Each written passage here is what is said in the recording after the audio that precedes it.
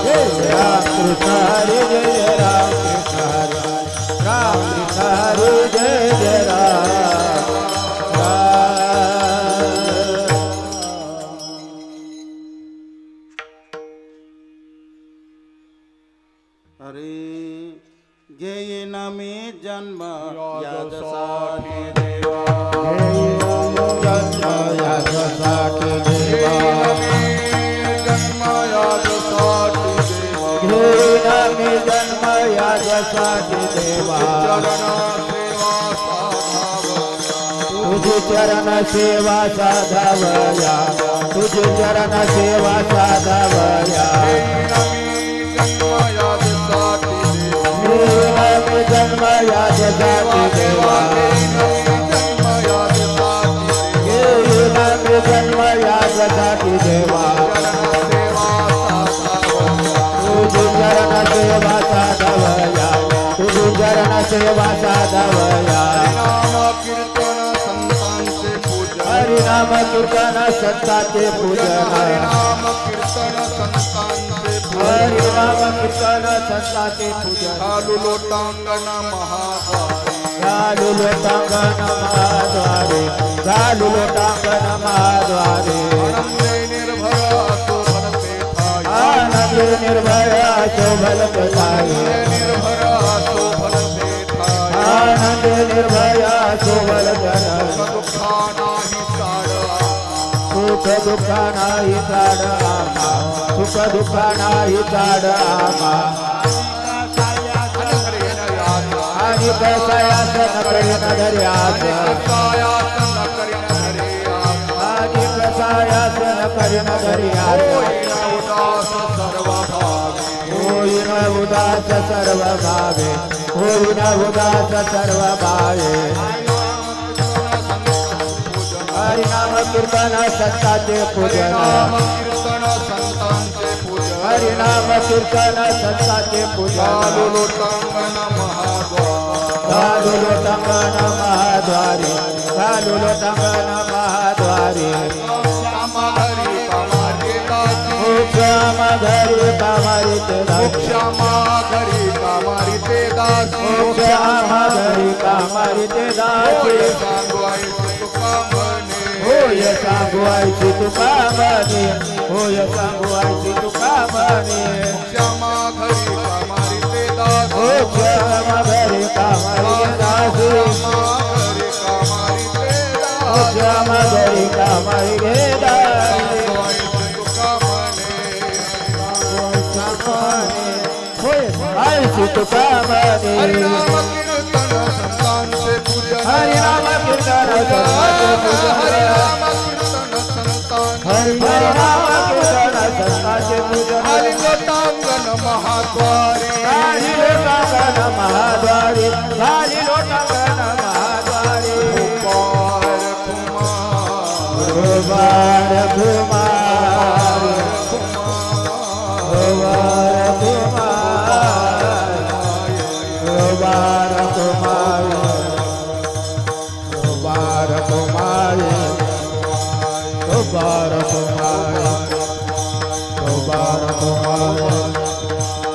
मुबारक पाए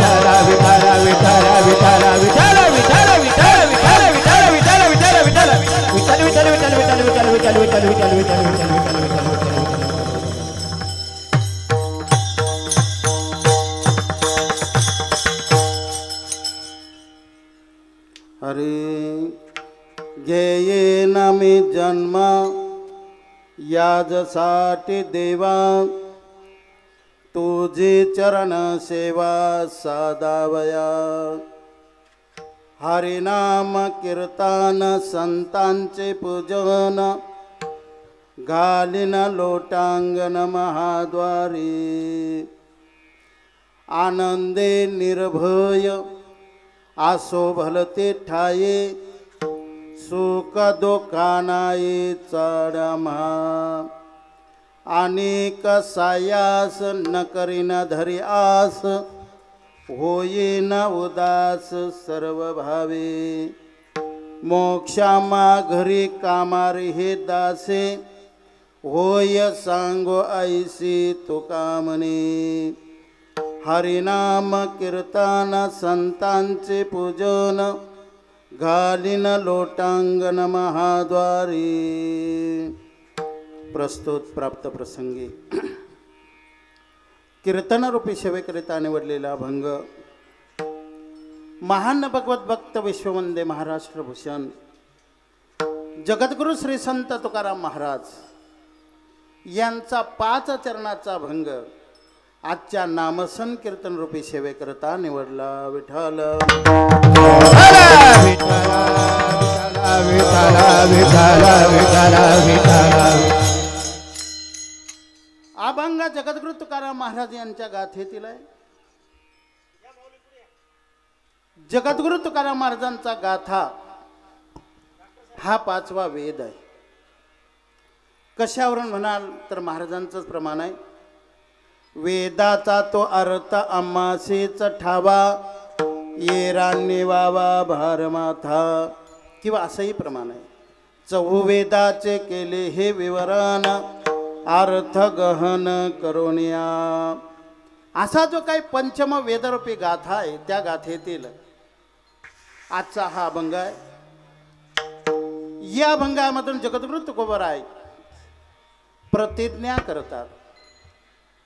मी जन्म घेईन अशी प्रतिज्ञा या अभंगातून जगद्गुरु तुकोबराय करतात. पण काव तुकाराम महाराज तुम्ही जन्म कशा करता घेणार आहे? लोकांचे जमिनी बळकावायला घरं लुबाडायला. नेमका उद्देश काय? कशाच्या करता? तुम्ही जन्म घ्याल. तर ते सांगतात एकंदर चार प्रकारच्या सेवा करण्याकरता मी परत परत त्या ठिकाणी जन्म घेईन. पहिल्या चरणामध्ये भगवान परमात्म्याची चरण सेवा साध्य करण्याकरता मी जन्म घेईन. दुसरं हरिनाम कीर्तन. संतांचं पूजन. आणि घालीनं लोटांगण महाद्वारे अशा चार प्रकारच्या सेवा जीवनामध्ये घडण्याकरता त्या परत परत घडण्याकरता मी परत परत जन्म घेईन अशी प्रतिज्ञा करतात. पण काव तुकाराम महाराज या चार सेवा तुम्हाला घडल्यानंतर काय होईल ते तिसऱ्या चरणात सांगतात. मी आनंदी होईल निर्भयता प्राप्त होईल आणि जी सुख दुःखाची जी चाड आहे ती सुद्धा शिल्लक राहणार नाही.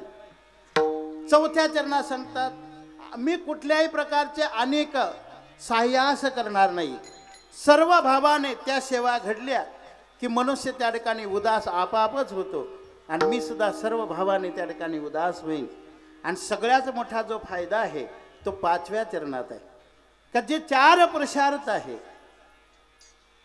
त्याच्यात अंतिम पुरुषार्थ हा मोक्ष आहे. धर्म अर्थ काम आणि शेवटचा मोक्ष आहे.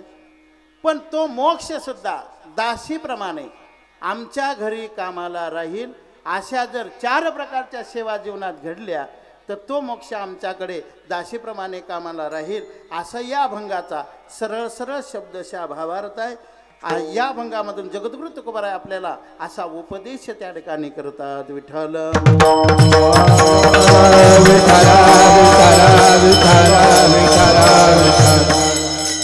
जयांचे गेले या स्मरण. ओय सकळ विद्यांचे अधिकरण. तेचे बांधो श्री चरण श्री गुरूंचे ते नमस्कारो नियत महायोग पिढे तटे भीमरत्यां वरं पुंडरिकाय दातो मुनींद्र हि। समागत्य तिष्ठं तमानन्दकन्दं परब्रह्मलिङ्गं भजे पाण्डुरङ्गम्। पांडुरंगा करू प्रथम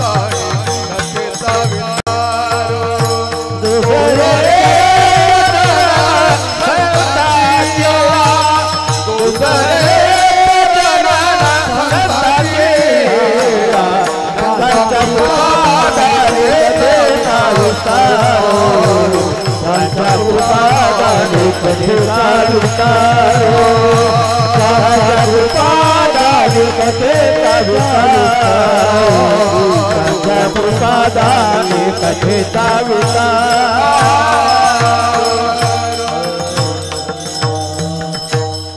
कायमा जीवानी मानेल संतासी रंजावू चित्तासी आपुलिया. माझे वाणी तुझे वर्णे गुणनाम आईसे देई प्रेम काही कळा. श्री संताचे माता चरणावरी साष्टांग हे करे दंडवत. मस्तक ये पायावरी पायावरी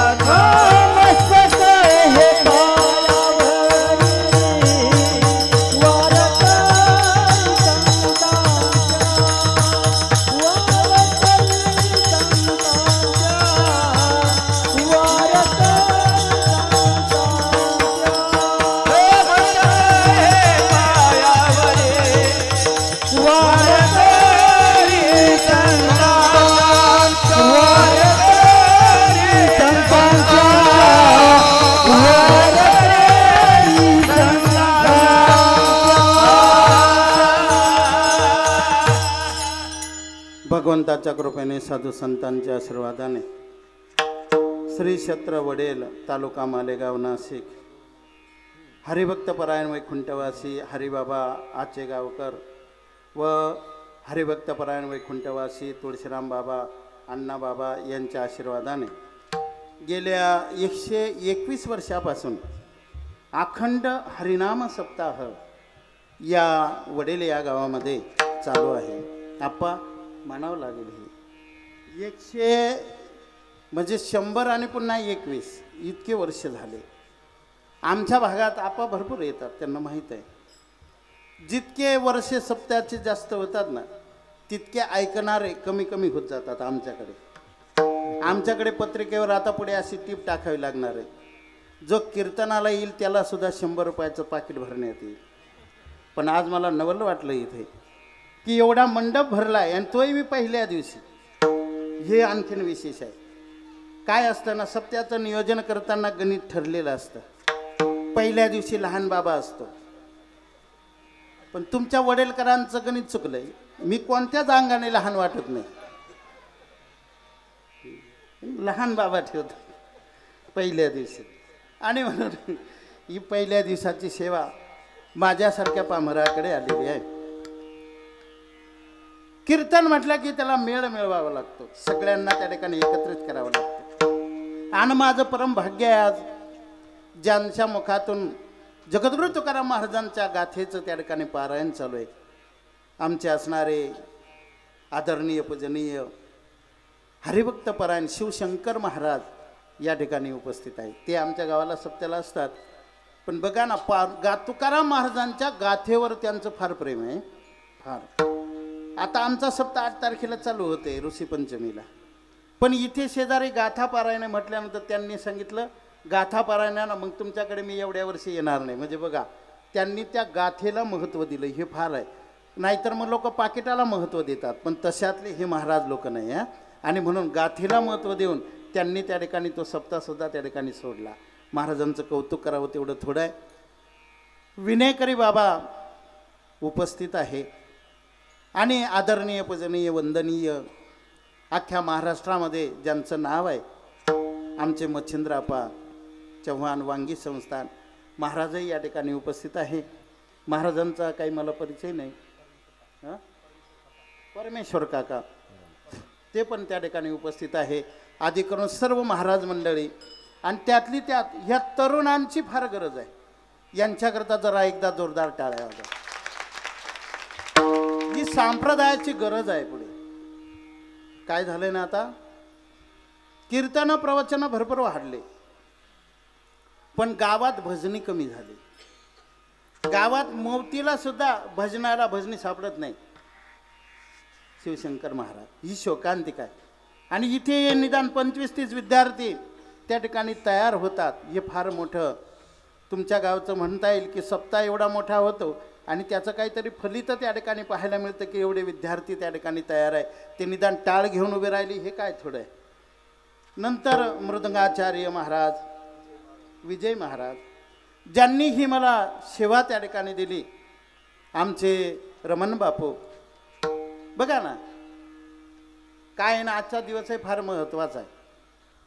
आज बैल पोळा आहे. बैलांचा दिवस आहे.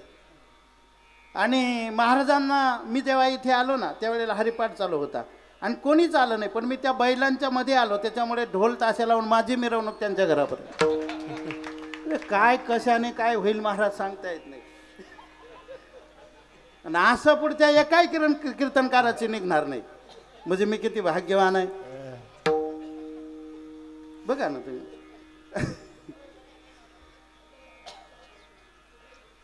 सर्व त्या ठिकाणी चोपदार महाराज आमच्याबरोबर आले आमचे आहिरे साहेब त्याचप्रमाणे भवर महाराज ते सुद्धा उत्तम कीर्तनकार आहे आणि तुमच्या परिसरात ज्यांचे फार कार्यक्रम झाले ब्रह्ममूर्ती दामोदर महाराज खेडगावकर त्यांचे ते शिष्य आहे आणि ती सुद्धा आज या माझ्याबरोबर त्या ठिकाणी आले. बघा मी ज्यांचं नाव घेतलं ना ज्यांचं मी नाव घेतलं ना त्यांचं नाव तर नुसतं माझ्या मुखात आहे. पण जे बाकीचे सगळे टाळ घेऊन उभे आहे का? ज्यांचं मी नावच घेतलं नाही त्यांचं स्थान मात्र माझ्या हृदयात आहे. यांच्या सगळ्यांचंच मी नाव घेतलं सगळं केलं आणि तुमचं जर घेतलंच नाही तर तुमच्याशिवाय आम्हाला कोणीच विचारणार नाही. वक्ता तो वक्ता नव्हे श्रोते विन तुम्ही सगळे मायबाप श्रोते. तुमच्या सगळ्यांच्या उपस्थितीमध्ये जो काही वेळ शिल्लक आहे अकरा वाजेपर्यंत त्या वेळेमध्ये आपण या अभंगावर चिंतन करण्याचा प्रयत्न करू विठ्ठल.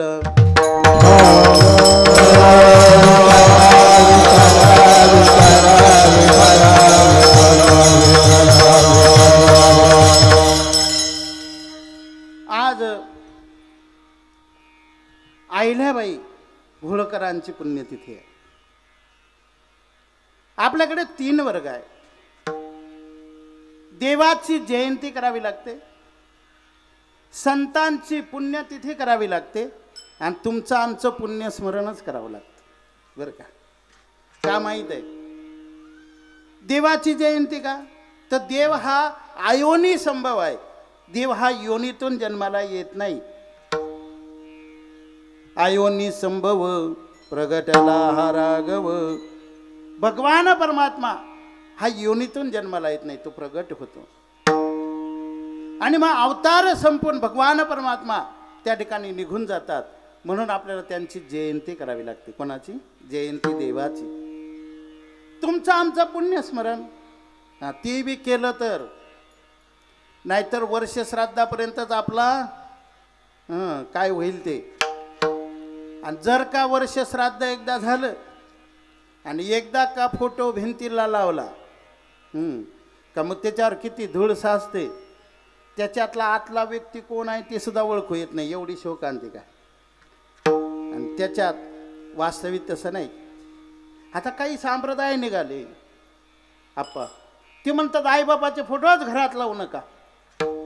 बरं का? मी तर म्हणतो ज्याला आईबापाचे फोटो घरात लावायचे नाही ना त्याने त्या आईबापाचं राहतं घर मला दान करायचं.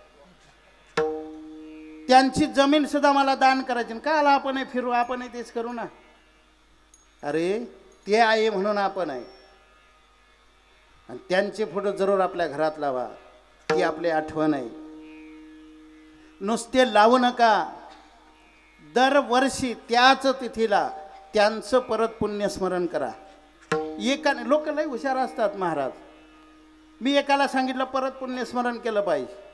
त्याने विचारलं महाराज ते पुण्यस्मरण किती वर्ष करायचं? मी त्याला सांगितलं जोपर्यंत तू तुझ्या आईबापाची इस्टेट खातो तोपर्यंत तू दरवर्षी त्यांचं पुण्यस्मरण केलंच पाहिजे. ते केलं पाहिजे. ते आहे म्हणून आपण आहे. चला आपलं पुण्यस्मरण. संतांची पुण्यतिथी करावी लागते. कारण का? संत ज्या तिथीला जातात ना त्या तिथीला पुण्यवान करून जातात. काय करून जातात? पुण्यवान करून जातात. आपल्या असणाऱ्या जिल्ह्याचं वैभव विश्वगुरु निवृत्तीनाथ महाराज. त्यांनी कधी समाधी घेतली? तुम्ही म्हणाले बाबा घेतली असेल कधी नको डोक्याला ताण देऊ. कधी घेतली? ही तर शिवकांती काय हा महाराज मंडळी सांगणारच ना. पण बाकीच्यांकडून अपेक्षा आहे ना त्यांनाही कळायला पाहिजे ना. त्यांनी बरोबर सांगितलं महाराजांनी ज्येष्ठ वद्य द्वादशी. त्यांचा आपण सोहळा करतो तो पौष महिन्यात करतो. म्हणून बऱ्याच लोकांचा असा गैरसमज आहे की पौष महिन्यातच निवृत्तीनाथ महाराजांची समाधी आहे. आणि तो कुठेतरी काढला पाहिजे. म्हणून तर एकदा त्या तिथीप्रमाणे समाधी सोहळा त्र्यंबकला आला. भरपूर मोठा कार्यक्रम ठेवला पण लोक तिकडं आलेच नाही. कारण लोकांना त्याचं महत्त्वच कळालं नाही. आणि म्हणून ते कुठेतरी आपल्याला कळालं पाहिजे. ज्या तिथीला जातात त्या तिथीला पुण्यवान करून जातात. संत श्रेष्ठ ज्ञानेश्वर महाराज ज्यांनी संजीवन समाधी घेतली कार्तिक वद्य त्रयोदशी. जगद्गुरु तुकाराम महाराज सहदेव वैकुंठाला गेले. तो दिवस आहे फाल्गुन वद्य द्वितीया. त्याला तुकाराम बीज म्हणतात. किती? महिलांनीकडे लक्ष द्या. किती बीज आहे सगळ्या एकंदर? हा तुम्हाला आपलं एकच माहिती आहे भाऊबीज आणि त्याचा बी आता काहीच उप हेच राहिला नाही. भाऊबीजेचा काय संबंध आहे? आता तुम्हाला एवढा लाडके भाऊ मिळाले. आता तुम्हाला भाऊबीजेची गरजच काय? त्या भावाने लयत लय घेऊन पाचशे रुपयाची साडी घेतली असती. इकडं तुमच्या भावाने अगोदर पंधराशे रुपये तीन हजार अगोदरच दिले. म्हटल्यावर परत आता भावाची गरजच राहिली. नाही चला भाऊबीज एवढीच माहिती आहे ना तुम्हाला. पण एकंदर तीन बीज आहे. भाऊबीज धर्मनाथाची बीज आणि जगद्गुरु तुकाराम महाराजांची तुकाराम बीज ती फाल्गुन वद्य द्वितीया ज्या दिवशी मानवदेह घेऊन जगद्गुरु तुकाराम महाराज निजधामाला गेले. जलसमाधी घेतली नाथ महाराजांनी ती फाल्गुन वद्य षष्ठी एकनाथ षष्ठी म्हणतात. ह्या ज्या काही तिथी आहे मग ह्या तिथीला संत त्या ठिकाणी गेले त्या तिथीला पुण्यवान करून गेले. मग आज आहिल्या देवींची पुण्यतिथी आहे. का? संतांचं जे कार्य आहे तेच कार्य असणाऱ्या अहिल्या देवींचं आहे. कारण संत हे परोपकारा करतात. या मृत्यू लोकात आले. हम्म. येथे उपकारासाठी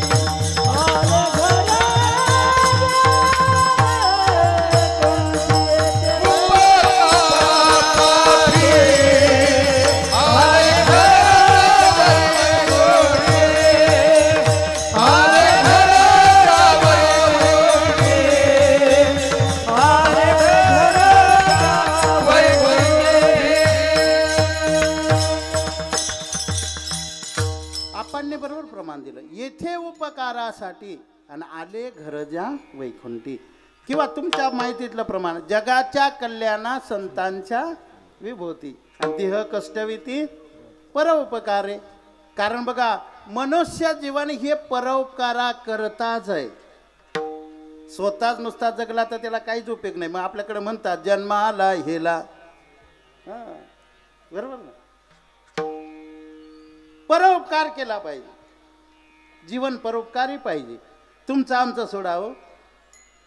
देवाला सुद्धा लोकांनी याच्यातून सोडलं नाही. बघा ना मागचे जे अवतार आहे ना मत्स्य अवतार कस्य अवतार वरहा अवतार नरसिंह अवतार या अवतारात देवाने काय केलं? एकच काम केलं आणि तेवढा अवतार घेतला आणि अवतार संपवला. लोकांबरोबर संबंध देवाचा आला नाही तर लोकांनी देवाला सुद्धा लक्षात ठेवलं.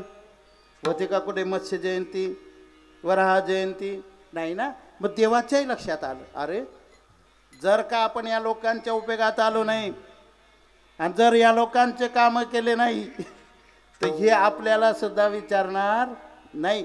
मग राम अवतारात आणि कृष्ण अवतारात लोकांचे कार्य केले लोकांच्या मध्ये त्या ठिकाणी मिसळले तेव्हा लोकांनी रामाला आणि कृष्णाला लक्षात ठेवलं. तुम्ही बघा ना एखादा मनुष्य आहे गावामध्ये तो जर सगळ्यांच्या उपयोगात येत असेल ना बरं का?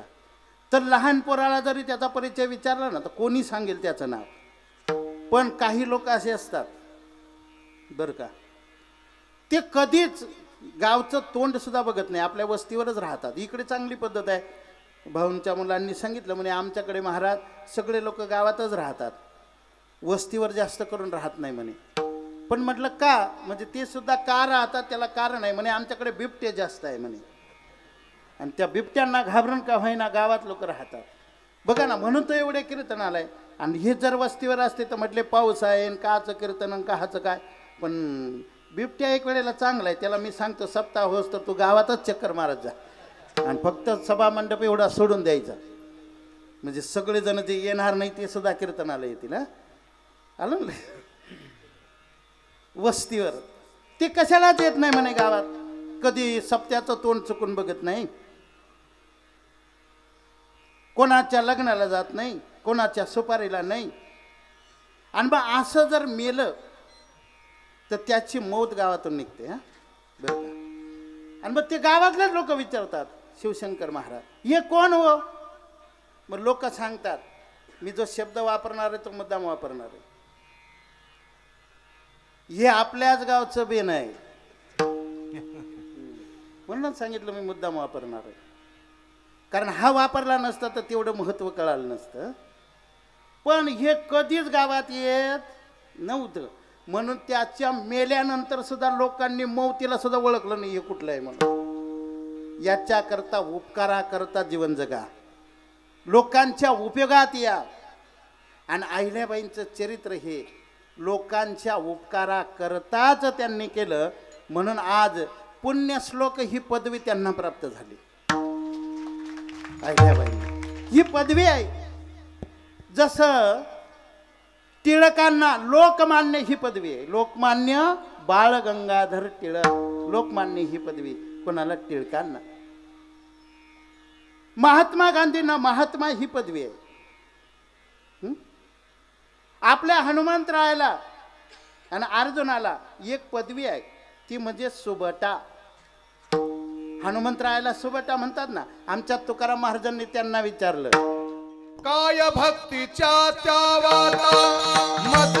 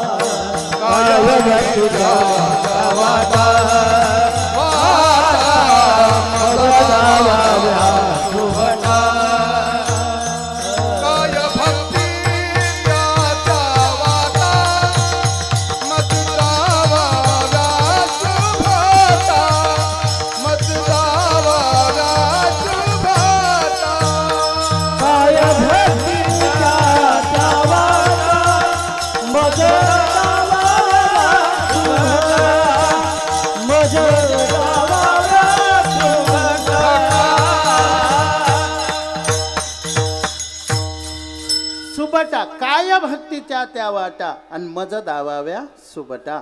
ही सुबटा पदवी अर्जुनाला सुद्धा. योगाच्या वाटा जे निघाले गा सुबटा तया दुःखाचाची वाटा भागा आला म्हणून अर्जुनाला सुबटा. पुण्यश्लोक ही पदवी नळराजाला. पुण्यश्लोक नळराजा. नंतर पुण्यश्लोक ही पदवी होती धर्मराजाला म्हणजे यदुष्ठिराला आणि नंतर पुण्यश्लोक ही पदवी फक्त त्या ठिकाणी अहिल्याबाई होळकरांना. पुण्यश्लोक अहिल्याबाई होळकर. काय एवढी त्या ठिकाणी पदवी मिळाली असेल महाराज? कारण कार्य त्याच पद्धतीचं आहे. राजा कोणी होऊ शकत नाही. राजा होण्याकरता काही लक्षणं लागतात. त्याच्या मनगटामध्ये ताकद पाहिजे. बुद्धी पाहिजे चातुर्य पाहिजे. आणि समाजाकरता झटण्याची जिद्द पाहिजे. तो राजा होत असतो आणि तो चांगलं राज्य करू शकतो. अहिल्यादेवींनी सुद्धा जे काही राज्य केलं त्याच्यामध्ये जे काही अनिष्ट त्या ठिकाणी प्रथा आहे त्या प्रथम त्यांनी बंद केल्या. हुंड्याची चाल प्रथम त्या ठिकाणी अहिल्यादेवींनी बंद केली. जाती नष्ट करण्याकरता सुद्धा त्यांनी त्या ठिकाणी कार्य केलं. अशा अहिल्यादेवींचा जन्म अहमदनगर जिल्ह्यामध्ये जामनेर तालुक्यामध्ये चोडी नावाचं गाव आहे. आणि त्या गावामध्ये असणारे त्या ठिकाणी मानकोजी शिंदे आणि सुशीलाताई शिंदे यांच्या पोटी धनगर समाजामध्ये एका छोट्याशा गावामध्ये अहिल्यादेवींचा जन्म झाला. मानकोजी शिंदे त्यांचे वडील दूरदृष्टी ठेवणारे होते. त्यावेळेला स्त्रियांना शिक्षण घेता येत नव्हतं. पुरुष प्रधान संस्कृती होती. आणि मग त्यांनी आपल्या मुलीला शिक्षण त्या ठिकाणी प्राप्त होण्याकरता घरीच तिच्या शिक्षणाची व्यवस्था केली. अहिल्यादेवींची शिक्षण पूर्ण झालं लिहिता वाचता यायला लागलं. त्या आपल्या पायावर त्या ठिकाणी उभ्या राहिल्या. पण पूर्वीचा काळ होता की पूर्वी लग्न लवकर व्हायचे कुमारिका दान करायचे. कुमारिका. तुम्ही बघा सीता स्वयंवर वाचा तुम्ही. आता आपलं सगळं चुकीचं आहे. आपण लग्न लावलं ते कशाला महत्त्व देतो म्हणे? मंगलाष्टक म्हटल्याला अरे मंगलाष्टक म्हणणं म्हणजे लग्न लागणं नाही. ती सप्तपदी आहे का? तिथे वचन द्यावं लागतं. धर्मेच अर्थेच कामेच नाचरामी. वचन द्यावं लागतं. आणि मग लग्न होतं. सीता स्वयंवर जर वाचलं ना तुम्ही तर लग्नाच्या प्रसंगामध्ये रामाचं वय होतं पंधरा वर्षाचं आणि सीतामाईचं वय होतं नऊ वर्षाचं. पण त्याही पेक्षा लवकर आठ वर्षाचं वय होतं आईल्या देवींचं. आणि वयाच्या आठव्या वर्षी मल्हारराव होळकर यांचे सुपुत्र शूरवीर खंडेराव होळकर त्यांचं वय होतं बारा वर्ष. आणि आईल्याबाईंचं वय होतं आठ वर्ष. त्यांचा विवाह पुण्याला शनिवारवाड्यामध्ये पार पडला मोठ्या थाटामाटात. काही काळ त्यामध्ये गेला. पण अहिल्यादेवींनी आपला गृहस्थाश्रमाचा स्वीकार केला. सासू सासऱ्यांचे मन जिंकले. उत्तम संसार करत असताना त्यांना दोन अपत्य झाले. एक मुलगा आणि एक मुलगी. मुलाचं नाव आहे मालेराव आणि मुलीचं नाव आहे मुक्ताबाई. पण त्यांचे सासरे जे आहे ना मल्हारराव होळकर त्यांनी सुद्धा एक दूरदृष्टी ठेवली. आणि आपल्या सुनेला मोडी त्या ठिकाणी वाचता यावी. घोड्यावर बसता यावं दानपट्टा चालवता यावा. राजकारणामध्ये न्यायनिवाडा करता यावा म्हणून सगळं शिक्षण त्यांनी त्यांना त्या ठिकाणी दिलं. काही काळ गेल्यानंतर एक दुःख त्यांच्या जीवनामध्ये आलं. की त्यांचे पती खंडेराव होळकर एका युद्धामध्ये त्यांना वीरमरण आलं. त्यावेळेला वया अहिल्यादेवींचं वय होतं फक्त एकोणतीस वर्ष. आणि वयाच्या एकोणतीसाव्या वर्षी त्यांना वैधव्य प्राप्त झालं. पण त्या खचल्या नाही त्यावेळेला सतीची चाल होती. ही सतीची चाल होती पहिली. पण ती सती जाण्याकरता शास्त्राचे काही सिद्धांत आहे जिला पाळी आली नसेल कारण ते कुमारिका दान करायचे ना तिला सती जाता येत नाही. जिला एक वर्षाचा मुलगा असेल तिला सती जाता येत नव्हतं. जी गर्भवती असेल तिला सती जाता येत नव्हतं. पण लोक हा विचारच करत नव्हते महाराज. डायरेक्ट तिची इच्छा असो नसो डायरेक्ट सती पाठवायची. मग राजाराम मोहन राय यांनी ती सतीची चाल पुढे बंद केली. पण आईल्या देवीने ठरवलं मी सती जाणार नाही. कारण का? सती गेल्यानंतर मोक्ष मिळेलच याची गॅरंटी नाही. पण मी समाजाची जर सेवा केली रयतेची जर मी सेवा केली तर निश्चित मला मोक्ष मिळाल्याशिवाय राहणार नाही. आणि म्हणून त्यांनी सती जाण्याचा निर्णय कॅन्सल केला. पुढे पतीच्या नंतर त्या राज्य कारभार त्या ठिकाणी पाहू लागल्या पण त्यांचं दुःख संपलं नाही. त्यांचे सासरे मल्हारराव होळकर यांचंही त्या काळामध्ये निधन झालं. ते दुःख कुठे कमी होतं ना होतं तेच त्यांचा एकुलता एक मुलगा मालेराव त्याचंही त्या ठिकाणी निधन झालं. पण त्या खचल्या नाही आणखीन जोमाने राज्यकारभार त्या ठिकाणी करू लागल्या त्यांनी जातीपातीचं राजकारण संपवण्याकरता काय केलं माहीत आहे? त्यांची जी मुलगी होती ना मुक्ताबाई ती एका बाजुराला आंतरजातीय विवाह तिचा त्या ठिकाणी लावून दिला. आणि तिथे जातीपातीचं राजकारण अहिल्यादेवींनी त्या ठिकाणी संपवलं. त्यांचे एवढे उपकार आहे. जे आपण आळंदी पंढरपूर आदी करून त्या ठिकाणी जातो ना जे घाट त्या ठिकाणी बांधले ते अहिल्यादेवींनी बांधले. अनेक मंदिराचे जीर्णोद्धार अहिल्यादेवींनी त्या ठिकाणी केले. रस्त्याने लोकांना पायी जाताना त्यांना त्या ठिकाणी विश्रांती घ्याती घ्या घेता यावी म्हणून झाडं त्या ठिकाणी लावले त्या सावलीला त्या ठिकाणी बसता येईल. अनेक गावामध्ये ज्या बारवा तुम्हाला पाहायला मिळतात त्या अहिल्याबाईंनीच त्या ठिकाणी बांधल्या की लोकांना त्या ठिकाणी पाणी पिता येईल. असं अनेक कार्य पुढे रघुनाथ पेशव्यांनी त्यांचं राज्य त्या ठिकाणी पेशवाईत विलीन करण्याचा प्रयत्न केला पण अहिल्याबाई मागे हटल्या नाही त्यांनी सर्व स्त्रियांना एकत्र केलं सर्व स्त्रियांची फौज तयार केली आणि माधवराव पेशव्यांसारख्या पेशव्यांना सुद्धा त्या ठिकाणी झुंज दिली. पण त्या मागे त्या ठिकाणी फिरल्या नाही. असं कर्तृत्ववान ज्यांचं आहे म्हणून त्यांना पुण्यश्लोक ही पदवी आहे. आणि त्यांच्याच पुण्यतिथीच्या निमित्ताने आजची ही कीर्तनाची सेवा आहे. म्हणून माझ्या अल्पबुद्धीने मी त्यांचं ही चरित्र त्या ठिकाणी सांगण्याचा प्रयत्न केला. म्हणजे तसं नाही तुम्ही म्हटले तर मी कीर्तन पूर्ण त्यांच्या चरित्रावर सुद्धा केलं असतं पण संप्रदायाचा नियम आहे की जो अभंग घेतला त्या अभंगावर सुद्धा बोललं पाहिजे. विठ्ठल विठ्ठल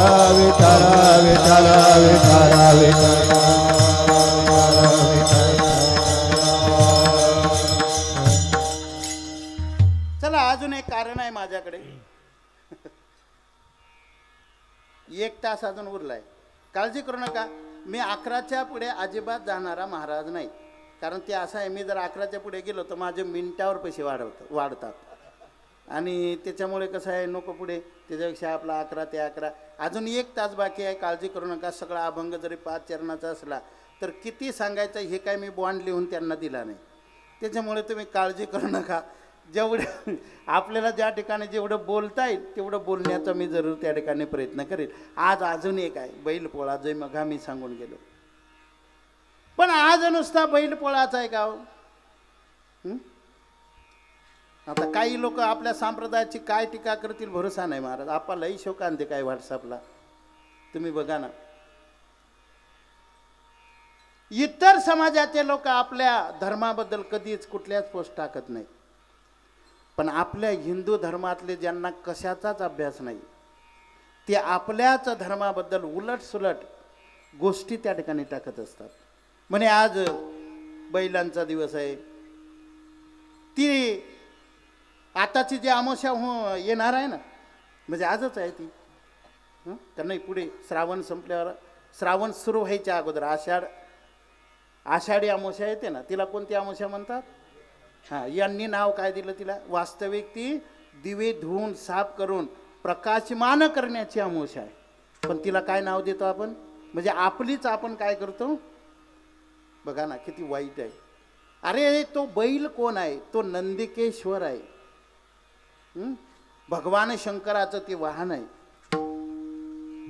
आणि त्याची आपण त्या ठिकाणी निंदा करतो. तुम्हाला माहीत आहे? गाय ही पृथ्वीचं रूप धारण करत असते. आणि बैल हा धर्माचं रूप धारण करत असतो. म्हणून बैल तेवढा महत्त्वाचा आहे. त्याची निंदा करू नका. बैलाचा दिवस त्या ठिकाणी म्हणून त्याला हिनवू नका. तो मोठा सण आहे.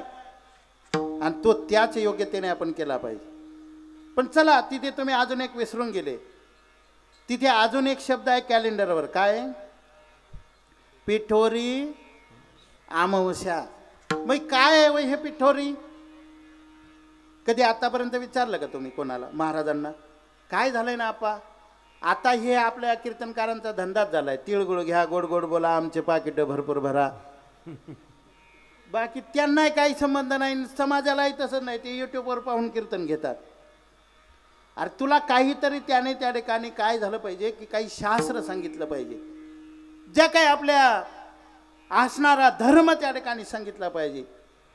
भक्ती त्या ठिकाणी सांगितली पाहिजे. पण आपण काय करतो? कोणाचेही कीर्तन घेतो. आता बघा ना ते पिठोरी व्रत आहे व्रत. आणि ते कोणी करायचं आहे? हां? सगळ्या महिला जेवढ्या इकडे आहे ना सगळ्यांनी माझ्याकडे लक्ष द्या. ते व्रत तुमच्या करताय. कोणांकरता? महिलांकरता. का माहीत आहे? सांगूनच जातो. मुलगा बापाला काम येतो. बरं का? पण तुमचा जो गैरसमज आहे ना तो काढून टाका आजपासून. तुम्ही काय म्हणतात मुलगा? बोला ना बोलता येतं ना तुम्हाला? मुलगा कोणाचा आहे? माझा आहे. हां हां ते झालीचं पातळ आहे का झालीचं लग्नात? तुमच्याकडे करतात का झाल? आमच्याकडे मेल्यावर माणसं जाळतात तुमच्याकडं? तीच पद्धत आहे ना? मग बोलत जा ना जरा. तुमच्याकडे झाल घेतात का ते लग्नात? हां? आणि मग ते झालीचं पातळ असतं. कोणाला? त्या वरमाईला. आता त्या पातळाचं नाव बदलायचं. काय ठेवायचं? हक्क सोड पातळ. काय नाव ठेवायचं? हक्क सोड पातळ. आता मुलावरचा तुझा हक्क संपला. आता मुलगा कोणाचा झाला? सुनेचा. आता नाही म्हणायचं तू माझा. मुलीचं लग्न झालं आणि ते पातळ घेतलं. का हक्क सोडायचा. आता मुलगी कोणाची? जावयाची ठेवाय. मुलगा तुम्हाला कामाला येत नाही मुलगा बापालाच कामाला येतो कारण शास्त्रात वर्णन आहे पुत नावाच्या नरकातून मुलगा बापाला तारू शकतो. बरोबर आहे शिवशंकर महाराज? तुम्हाला मुलाकरता व्रत करायचं. मी पटून देतो तुम्ही पायाच्या बोटापासून डोक्याच्या केसापर्यंत कोणाचे दागिने घातले? बोला ना इकडच्या महिला बोलत नाही का? रमण भाऊ. का घाबरतात मला?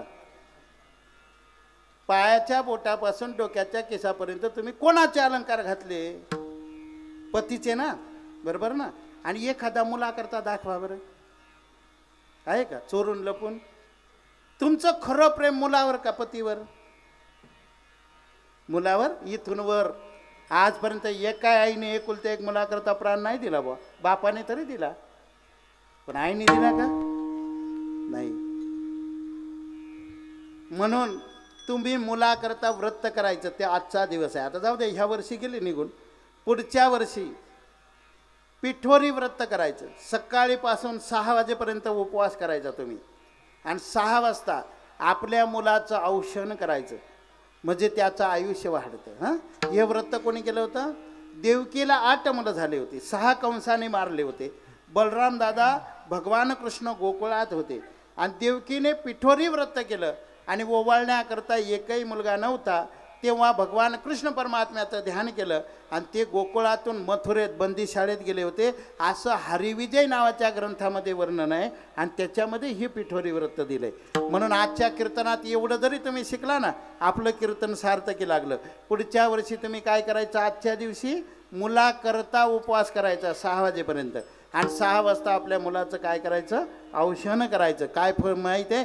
त्याचं आयुष्य वाढतं हे लय अवघड आहे बा. जरा सांगूनच जातो. रक्षाबंधन आणि भाऊबीजेत काय फरक आहे हो? कधी विचारला कधी ऐकलं का? खरा फरक आहे का? रक्षाबंधनाच्या दिवशी खऱ्या अर्थाने बहिणीने भावाच्या घरी जायचंच नसतं. भावाने बहिणीच्या घरी यायचं.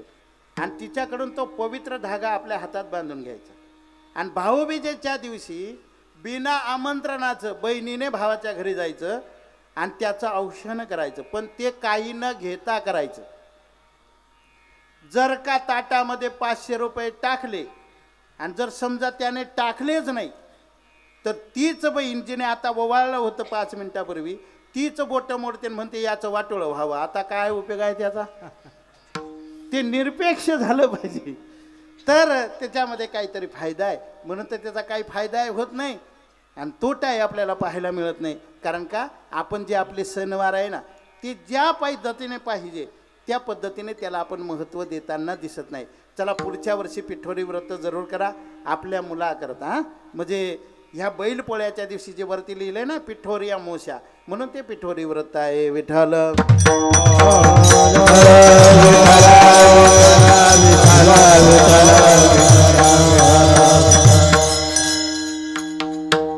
अभंग जगद्गुरु तुकाराम महाराजांचा. आहे या अभंगामधून जगद्गुरु तुकोबर आहे. प्रतिज्ञा करतात मी जन्म घेईन. पण तुम्ही जन्म घेईन म्हणतात. तर बघा आपल्याकडे तीन वर्ग आहे एक आहे प्राज्ञ एक आहे सुज्ञ आणि एक आहे आज्ञ. प्राज्ञ त्या ठिकाणी आज्ञा करतात.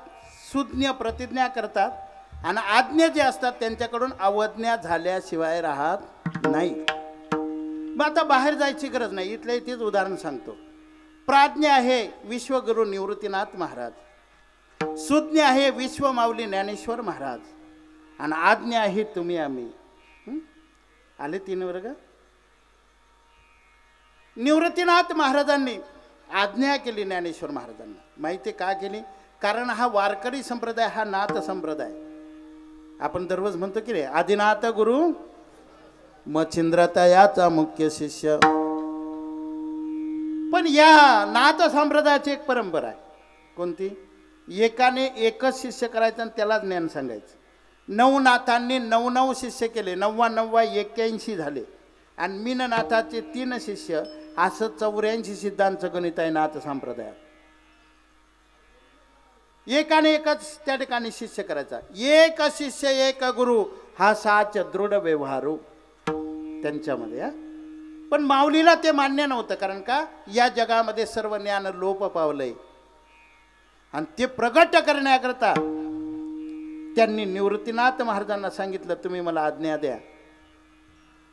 आणि मग निवृत्तीनाथ महाराजांनी त्यांना त्या ठिकाणी आज्ञा केली. तव म्हणे निवृत्तीनाथ हे जे काही झाले सांगितले उपजले नारायणे जे ना भगवान परमात्म्याने गीतेत सांगितलंय ना तेच तू या लोकांना मराठी भाषेमध्ये सांग. आणि मग त्यांनी आज्ञा केल्याच्यानंतर ज्ञानेश्वर महाराजांनी ज्ञानेश्वरी गीतालंकार नाव ज्ञानेश्वरी ब्रह्मानंद लहरी प्रगट केली. आणि मग ते ते सुज्ञ आहे ते प्रतिज्ञा करू शकतात. तुम्ही आम्ही आज्ञा आहे आज्ञा कोणाला म्हणायचं? ज्याला काहीच कळत नाही त्याला आज्ञ म्हणतात. काय कळत नाही हेही ज्याला कळत नाही त्याला आज्ञ म्हणतात. जे कळत नाही हेही ज्याला कळत नाही. बघा ना तुम्ही एखाद्याला जर निंबाचा पाला खायला दिला ना तरी चेहऱ्यावर काहीच परिणाम नाही. तसाच. पेढा जरी खायला दिला तरी तसाच. त्याला जर म्हटलं ना क्यू रोते हो मिया? बोले मेरी सुरत वैशी आहे आपल्याकडे प्रमाण आहे ना? फोडीली गोवारी.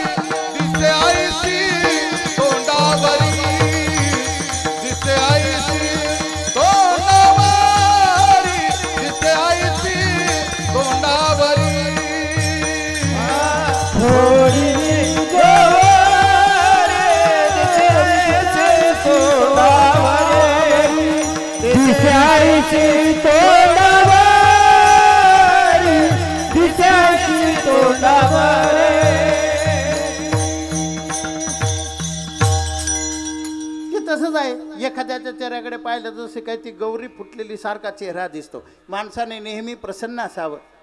काही जरी झालं तरी. बघा ना समोरचा जर मनुष्य त्या ठिकाणी फ्रेश असला तर दुसऱ्यालाही काहीतरी आनंद वाटतो. नाहीतर मग त्याचं तोंड अगोदरच सुकलेलं गेलेलं असं वाटतंय याचं कोणी गेलं की काय आताच म्हणजे असं त्या ठिकाणी कधी नसावं महाराज. हाय ना जेवढं आयुष्य आहे तोपर्यंत एकदम आनंदामध्ये त्या ठिकाणी राहावं जे होणार आहे ते घडणारच आहे. हां त्याचा विचार नका ना करू. आपल्या पाचवीच्या दिवशी आपल्या कपाळावर लिहिले लाटीचे लिहिले. न पुसे काही केले आणि काळे गोरे पण धुतले. जे लिहिले प्रारती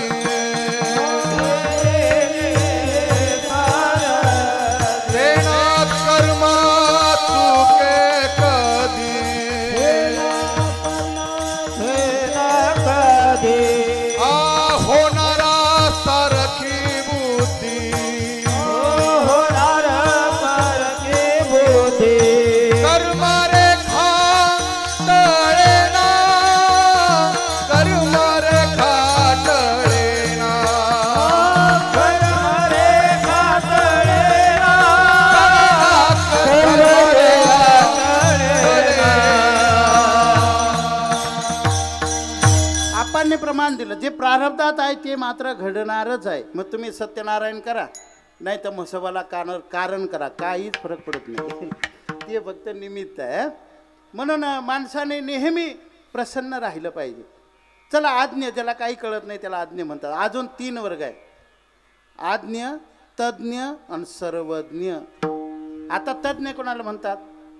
ज्याला एकाच गोष्टीचं कळतं बाकीच्या गोष्टीचं अजिबात कळत नाही. आणि सर्वज्ञ कोणाला? ज्याला सगळ्या गोष्टीतलं सगळं कळतं त्याला सर्वज्ञ म्हणतात. आता तज्ज्ञ तुम्हाला माहिती आहे डॉक्टर लोक. ज्याला मेंदूचं कळतं त्याला हृदयाचं कळत नाही. ज्याला हृदयाचं कळतं त्याला पोटाचं कळत नाही. ज्याला कानाचं कळतं त्याला डोळ्याचं कळत नाही. इथपर्यंत ठीक होतं. डॉक्टर साहेब आहे का कोणी इथे? काय काय हरकत नाही. पण ते डॉक्टर आता पुढे आतापर्यंत ठीक होतं सगळे डॉक्टर. पण पुढे असे डॉक्टर निघणार आहे. ज्याला उजव्या कानाचं कळतं त्याला डाव्या कानाचं कळणार नाही. ज्याला उजव्या डोळ्याचं त्याला डाव्या डोळ्याचं सुद्धा कळणार नाही. त्याला काय म्हणतात? तर एकाच गोष्टीचं कळतं बाकीच्या गोष्टीचं अजिबात कळत नाही. त्याला तज्ज्ञ म्हणतात. आणि ज्याला सगळ्या गोष्टीतलं सगळं थोडं थोडं कळतं त्याला सर्वज्ञ म्हणतात. आपापूर्वी प्रत्येक गावात एक सर्वज्ञ माणूस असायचा. बरं का? माझं वय फार नाही एवढं काही पन्नास वर्ष. पण त्या वयात आहे फार अनुभवले होता बरं का. आता झालं हे दहा दहा पंधरा वर्षाचा काळ बदललाय थोडा. गावात एक सर्वज्ञ माणूस असायचा. बापू बाबा बा ब्राह्मण नाही मिळाला तो तोडके मोडके मंगलाष्टक म्हणायचे. गावात भजनाला पखवाद्या नसेल तर चाल दीड बिघ्यात भजन पास. एकच राह आक भजन पास करायचं. आचारे फिचारी कोण नव्हते तेव्हा? तोच पण मग त्याच्या आजची कडी भात शिरा. काय महाराज? आता खाल्लं कवीनची पुढे घ्यावी लागते का? तज्ज्ञ. पण तो मात्र सर्वज्ञ होता. आणि मग सगळ्या गोष्टी काही जिथे कमी तिथे तो हजर. आणि मग त्या गावामध्ये काय झालं? तज्ज्ञ मंडळी आली. आता शिकून शिकून आता आळंदीला जाऊन काही पक्वात शिकून आले. कोणी त्या ठिकाणी जाऊन आचार्य बनून आलं. सगळेजण तज्ज्ञ लोक त्या गावात आले. पण ते लोक काय करायचे? जो सर्वज्ञ होता का? जो सगळ्यांच्या कामाला यायचा. त्यालाच नमस्कार करायचे त्याचीच विचारपूस करायची पण ह्या तज्ज्ञ लोकांच्या पोटात दुखायला लागलं.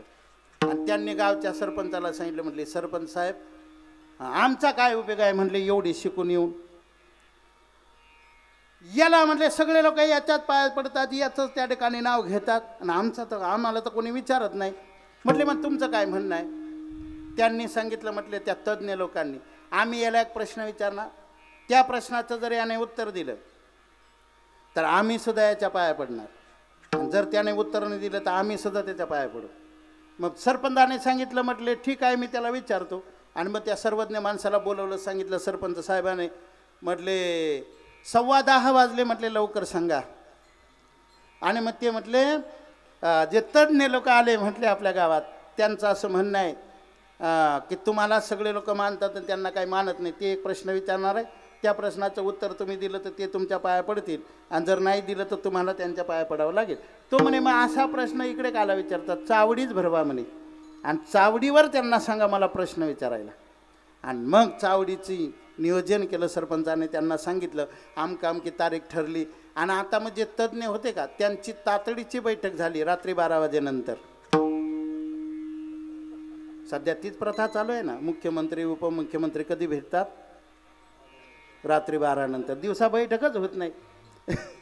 मग तात्रीची बैठक कधी? रात्री बारानंतर आणि मग त्यांनी बऱ्याच दिवस पंधरा दिवस विचार केला कोणता प्रश्न विचारायचा? आणि मग पंधरा दिवसाने त्यांचं एकमत झालं. त्याच्यातल्या एकाने सांगितलं प्रश्न असा विचारायचा एक माशी अशी मुठीत धरायची. आणि त्याला असं विचारायचं ही माशी जिवंत आहे का मेलेली? बरं का. जिवंत माशी धरायची मुठीत. आणि जर तो म्हटला जिवंत आहे तर तशीच दाबायची. आणि तो जर म्हटला मेलेली आहे तर अशीच सोडायची. ठरलं.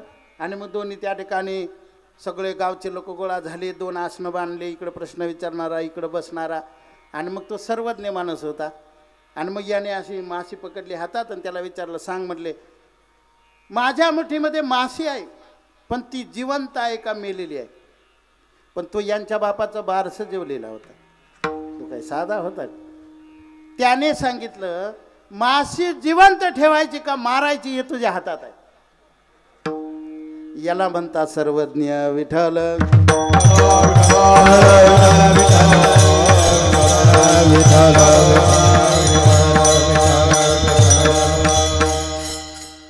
मग चला आज्ञ तज्ञ सर्वज्ञ.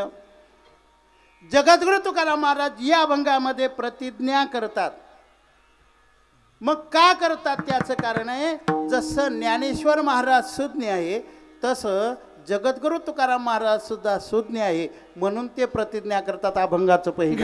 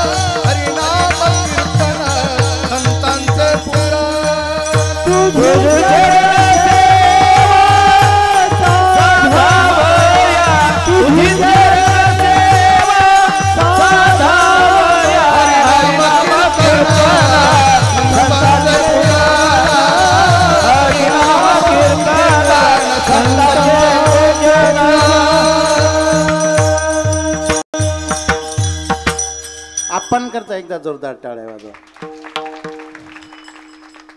सुंदर आपांचा आवाज आहे सुंदर प्रमाण म्हटलं. त्याचं कारण आहे मी अजून एक गोष्ट सांगून जातो.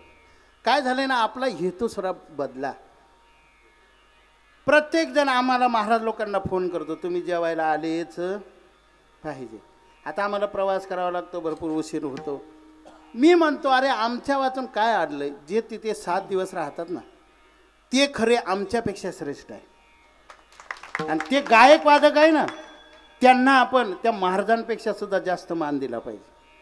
त्यांना दक्षिणा दिली पाहिजे. त्यांना त्या ठिकाणी तुम्ही मानाने जेवण करायला त्या ठिकाणी घेऊन जात जा. महाराजाचं काय त्यांच्यापेक्षा पाकिटही जास्त राहतं त्याला वाटलं तर तो रस्त्याने डाब्यावरही खाऊन घेईल.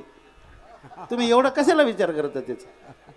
आपण जे इथे राहतात ते फार महत्त्वाचे आहे. तसं ढाब्यावर खात नाही बरं मी नाही तुम्ही म्हणायचे महाराज म्हटली म्हटल्यावर पण ते एक म्हणायचा उद्देश झाला. म्हणे काय करता? आपलं तेच आहे. जे आपल्या जवळ असतात. जे सात दिवस आहे त्यांचं आपल्याला महत्त्व कमी वाटतं. आणि जे एक दिवस येतात त्यांना आपण जास्त महत्त्व देतो. परंतु ते खरे आहे त्यांनासुद्धा आपण काय केलं पाहिजे? तेवढंच महत्त्व कीर्तनकारा इतकंच आपण त्यांनासुद्धा दिलं पाहिजे हां? आणि त्यांच्यावर ह्या सगळ्या गोष्टी अवलंबून आहे आणि म्हणून आप्पा या ठिकाणी स्वतः उपस्थित आहे. पहिल्या चरणामध्ये जगद्गुरु तुकोबाराय सांगतात मी जन्म घेईन. पण कावं तुकाराम महाराज थोडं ते स्वराचं माझं जमत नाही. हां हा करता तुम्ही देत जा. माझा आणि त्याचा काही संबंध नाही. त्याचं कारण आहे कोठे काही कोठे काही एक आहे एक नाही हां. मी अनेक अठरा पुराणं वाचता वाचता आणि मी कुठेच गेलो नाही. आळंदीला नाही आणि पंढरपूरला नाही. घरीच अभ्यास केला आहे पण तुम्ही अठरा पुराणापैकी कोणत्याही पुराणाचा प्रश्न विचारा. म्हणजे अतिशयोक्ती नाही पण त्याचा उत्तर देण्याचा प्रयत्न मी नक्की त्या ठिकाणी करेन हां. आणि त्याच्यामुळे काय झालं की इकडे लक्षच द्यायला जमलं नाही. म्हणून आपलं काय आपल्याला ते आवडत नाही ताकाला जायचं आणि गलप व्हायचं. जे आहे ते खरं आहे. नाही जमत म्हटल्यावर नाही जमत. नाहीतर मग ते इतरांसारखं नाही बुवा आपल्याला स्वर त्या ठिकाणी येत नाही ना आपणच विनाकारण म्हणायचं. हां हां. आता तुला येत नाही आणि तू कशाला झकमाऱ्या करतो तिकडं? त्याच्यापेक्षा त्यांचं त्यांचं चाललंय ना मापात. का आला तू झकमाऱ्या करतोय? आणि आपलं तसं नाही. आपलं आहे ते एकदम मोकळं.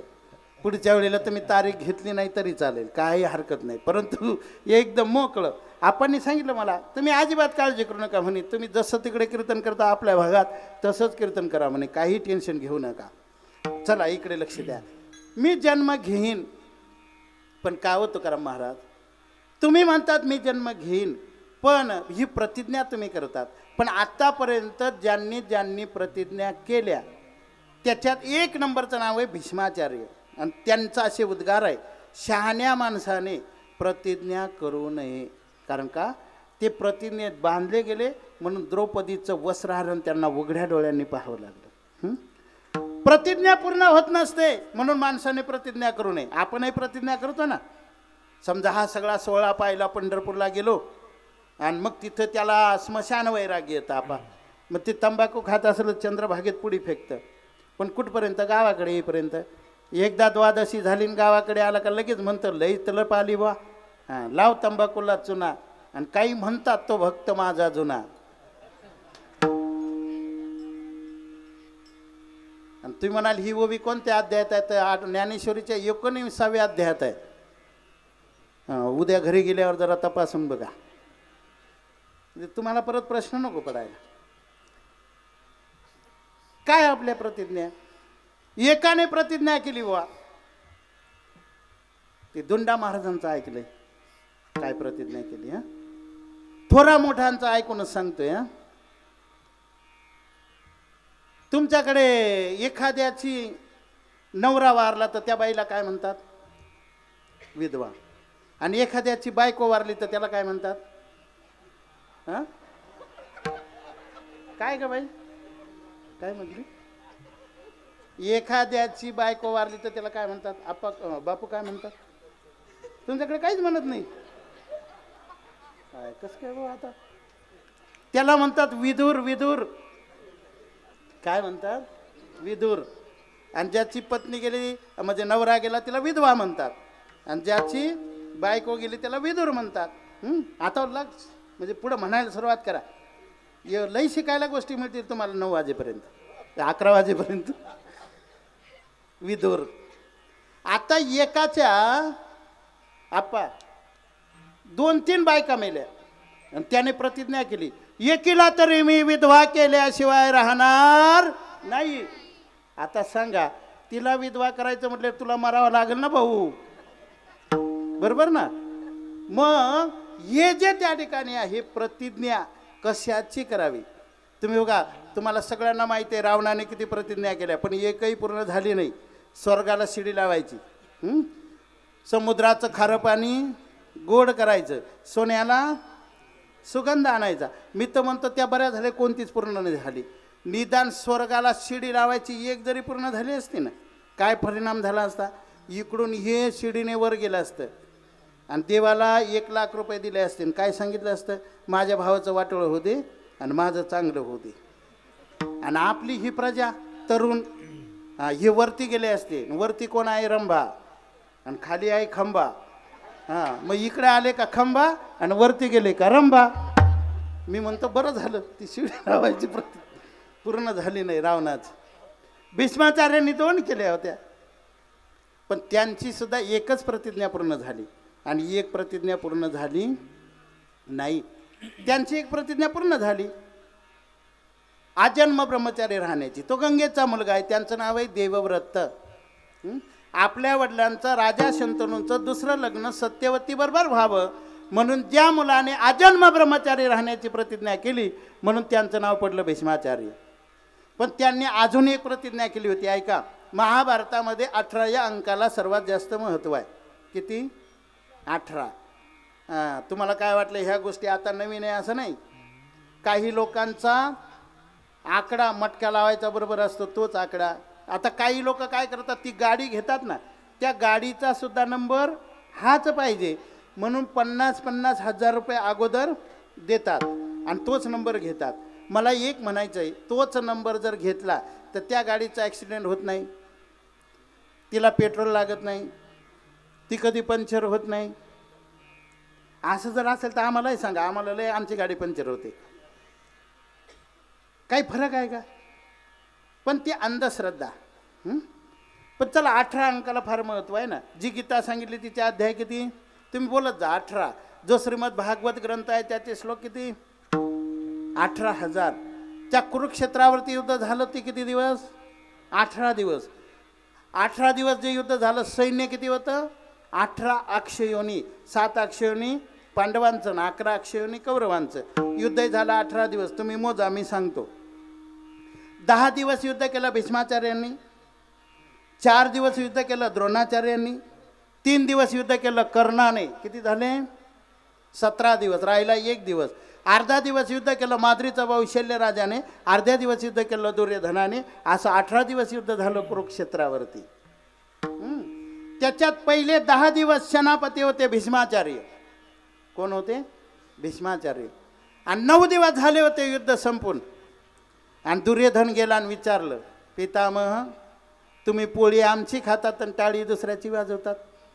पण ते भीष्माचार्य होते त्यांनी उत्तर दिलं दुर्योधनाला अरे काय बोलतो? हा म्हातारा दरवत दहा हजार सैन्य मारल्याशिवाय जेवण करत नाही. पण तोही दुर्योधन होता. त्याने उत्तर दिलं पितामह नऊ दिवसात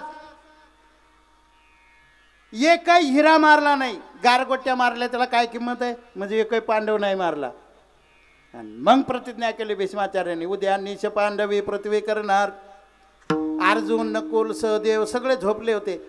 आणि देवाने जाऊन अर्जुनाला जाग केलं. उठ! ब्रेकिंग न्यूज बघितली का टी व्हीवर रात्रीच्या रात्री हजार पाचशेच्या नोटा बंद. आता दोन हजाराची सुद्धा बंद. ते आम्हाला बरं होतं पण ती टाकली बंद करून.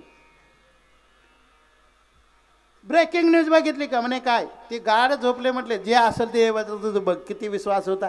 आणि मग देवालाच काळजी पडली. आणि दुर्योधनाची पत्नी भानामती जाणार होती दर्शनाला पण अगोदरच द्रौपदीला घेऊन गेले. आणि जाताना दोन चपला अशा द्रौपदीच्या पायाचा आवाज येऊ नये म्हणून आपल्या बगलामध्ये घेतल्या देवाने. काय अधिकार असेल द्रौपदीचा? आणि जाऊन भीष्माचार्यांच्या पायावर डोकं ठेवलं आणि भीष्माचार्यांनी आशीर्वाद आशीर्वाद दिला. अष्टपुत्र सौभाग्यवती भव. द्रौपदीने विचारलं पितामह या जन्माचा का पुढच्या?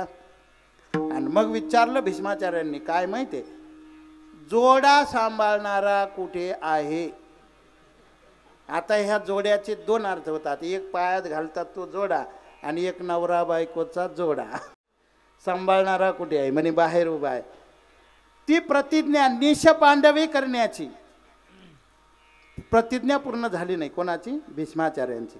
देवाची सुद्धा प्रतिज्ञा पूर्ण झाली नाही. शिशुपाल वक्रदंत या दोघांचा वध केला. आणि देवाने प्रतिज्ञा केली आता मी शस्त्र हातात धरणार नाही. पण भीष्माचार्यांनी शस्त्र धरायला लावलं. भीष्मपण भीष्मपण भीष्म केला खरा धनुर्धरा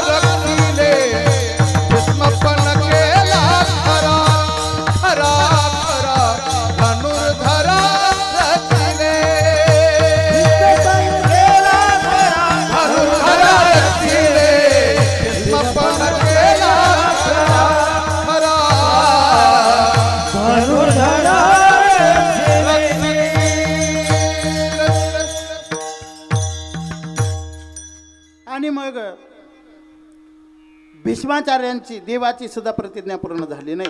पण मग इथे जगद्गुरु तुकाराम महाराज का प्रतिज्ञा करतात? तर आमच्या संतांच्या प्रतिज्ञा पूर्ण होतात.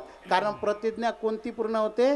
जी देवा करताच केली जाते. सत्यसंकल्पाचा दाता नारायण. सर्व करी पूर्ण सर्व करी पूर्ण मनोरम सर्व कार्य पूर्ण कार्य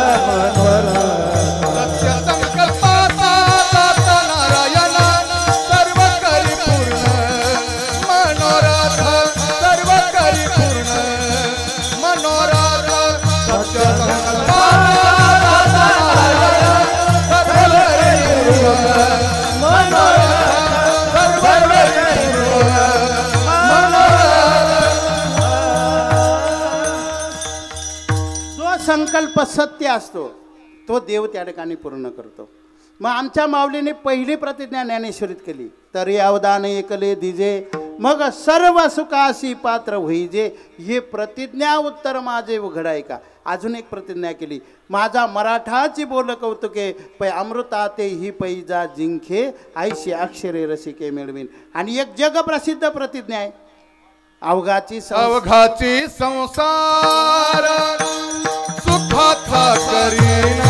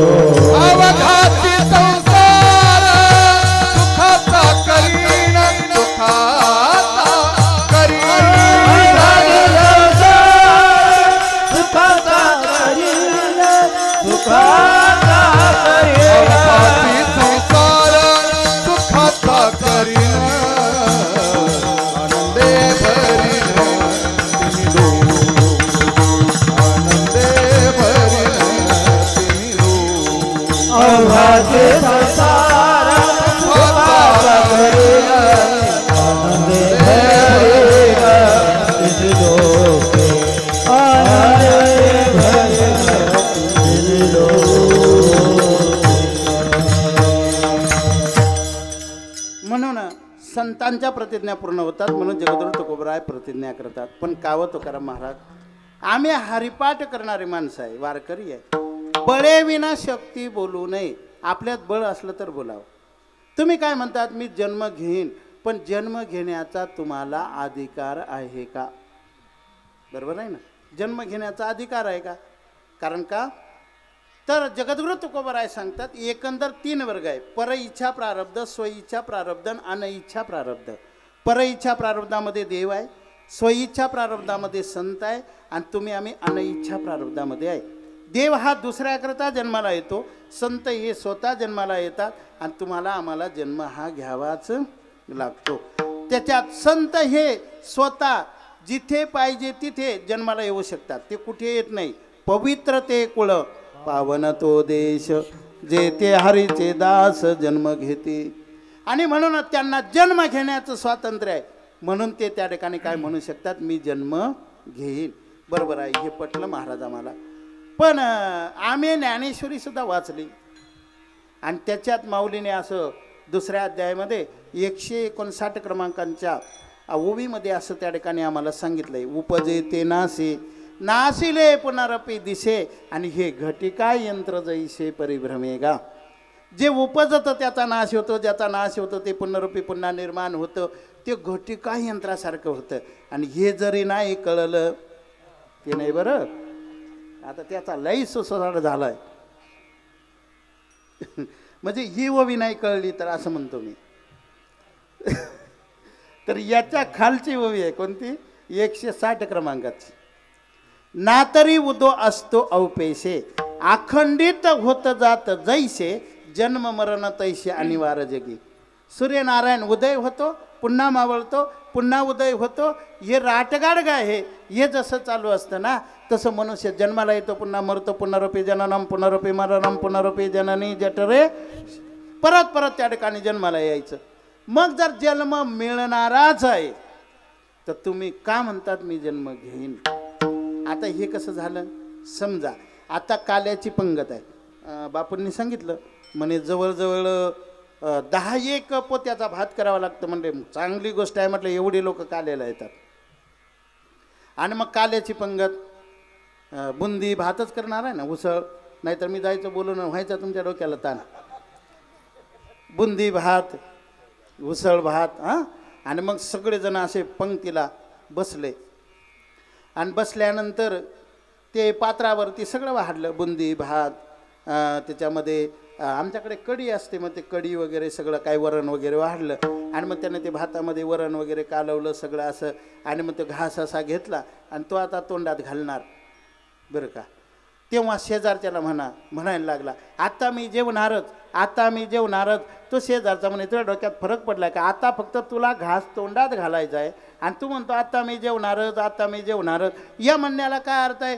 तसं तुकाराम महाराज जर तुम्ही म्हणतात मी जन्म घेईन आणि जन्म जर मिळणाराच आहे तो जर मिळतच असतो तर तुम्ही का म्हणतात मी जन्म घेईन मी जन्म घेईन पण मग तुकाराम महाराजांनी उत्तर दिलं बाबा इतर जन्म मिळतात पण ते काही कामाचे नाही. याची देई घडे देवाचे भजन आणि हे ज्ञान नाही कोठे. याच देहामध्ये फक्त देवाचं भजन होतं. अनेक ठिकाणी हे ज्ञान नाही म्हणून मी त्या ठिकाणी काय म्हणतोय मी जन्म घेईन. बरोबर आहे तो करा महाराज. भरपूर साडेदहा वाजले. जरा लवकर लवकर सांगा. ठीक आहे. पण जन्म घेणं जर सुखाला कारण असतं तर तुम्ही म्हटले असते मी जन्म घेईन तर ते योग्य आहे. पण तुम्ही बघा ना जन्माला येणंही दुःखाचंच कारण आहे आणि जाताना सुद्धा दुःखच आहे. तुम्ही बघा ना ज्या वेळेला आपण आईच्या गर्भात राहतो नऊ महिने नऊ दिवस ते काय शीतगृह आहे का? मग तिथे काय काय यातना होतात? संतांनी वर्णन वर्णन करून सांगितल्या. पण आपण ते सगळं आता भोगून आलोय म्हणून आपल्याला त्याचा विसर पडला. काय सांगो गर्भेचे यातना? मज भोगिता नारायणा मास मळमूत्र आणि तुझं क्षण क्षणा ध्यात असे. नाकी तोंडी कुर्मीकडे गर्भवासाचे दुःख गाडे. आणि कोणा पुढे सांगावे. किती अवघड आहे. ते साधू संत गर्भवासाचं दुःख विसरत नाही. ती ओवी दिली माऊलीने ज्ञानेश्वरी डोळा हरळ न विरे. घाई कोत न जिरे. तैसे न विसरे जन्म दुःख. एवढं ते जन्माचं दुःख अवघड आहे. हा ते काय शीतगृह आहे का? बरं ते तसं नाही ना महाराज. बरं गर्भवासात कसा असतो? गर्भवासी दंड. उलटे पाय खाली तोंड. गर्भामध्ये करी दंड वरती पाय खाली तोंड. गर्भामध्ये करी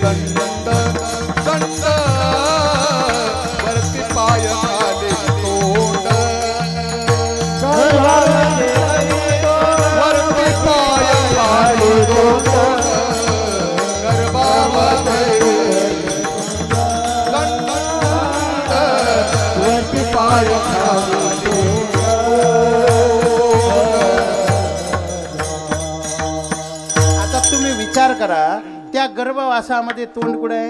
आणि पाय कुठं आहे? ते बरं आपण बाहेर येतो ना गर्भातून म्हणजे जन्म होतो तो सुद्धा आपला पालथाच आहे. कसा आणि आपण पालथे जन्माला येतो म्हणूनच सरळ आपल्याला कळत नाही. मी म्हणत नाही माऊलीची ओवी आहे. आहा कटकटा ओखटे ये मृत्युलोकेचे उभराटे. आणि येत अर्जुना आवचिते जन्मला असे तू. ते म्हणाल महाराज तुम्ही कशावरून म्हणतात? आपल्याला सरळ कळत नाही म्हणून. मी सांगतो ना तुम्हाला कळत नाही म्हणून. जर तुम्हाला सरळ कळालं असतं ना तर तुम्ही जिवंत माणसाच्या पुढे मेणबत्त्या फुकल्या नसत्या आणि माणूस मेल्यावर दिवा लावला नसता. बरोबर ना? जिथं वाढदिवस आहे तिथे मेणबत्ती पेटवायची आहे तिथे विझवतो. आणि जिथं विजली तिथं पेटवतो. कुठं माणूस गेल्यावर. मग किती सरळ कळतं आपल्याला? हं? मग त्या गर्भवासाचं एवढं दुःख भोगून आलो की नाही? आणि बरं मरताना तुम्हाला काय वाटलं सुखासुई जातो की काय प्राण? हां एक विंच चावल्यावर किती दुःख होतं? नसेल तर उद्या चावून आणि अनुभव घेऊनच बघा. असे शंभर विंच चावल्यानंतर जेवढं दुःख होतं तेवढं प्राण त्या ठिकाणी जाताना होतं. मग येताना जाताना जर एवढं दुःख आहे तरी तुम्ही परत परत म्हणतात मी जन्म घेईन.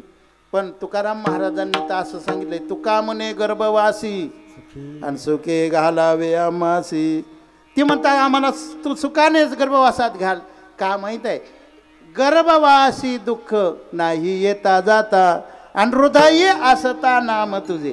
जे देवाचं नाव घेतात त्यांना गर्भवासाच्या दुःखाची बाधा होत नाही. आणि तुकाराम महाराज देवाचं अखंड नामस्मरणच करतात.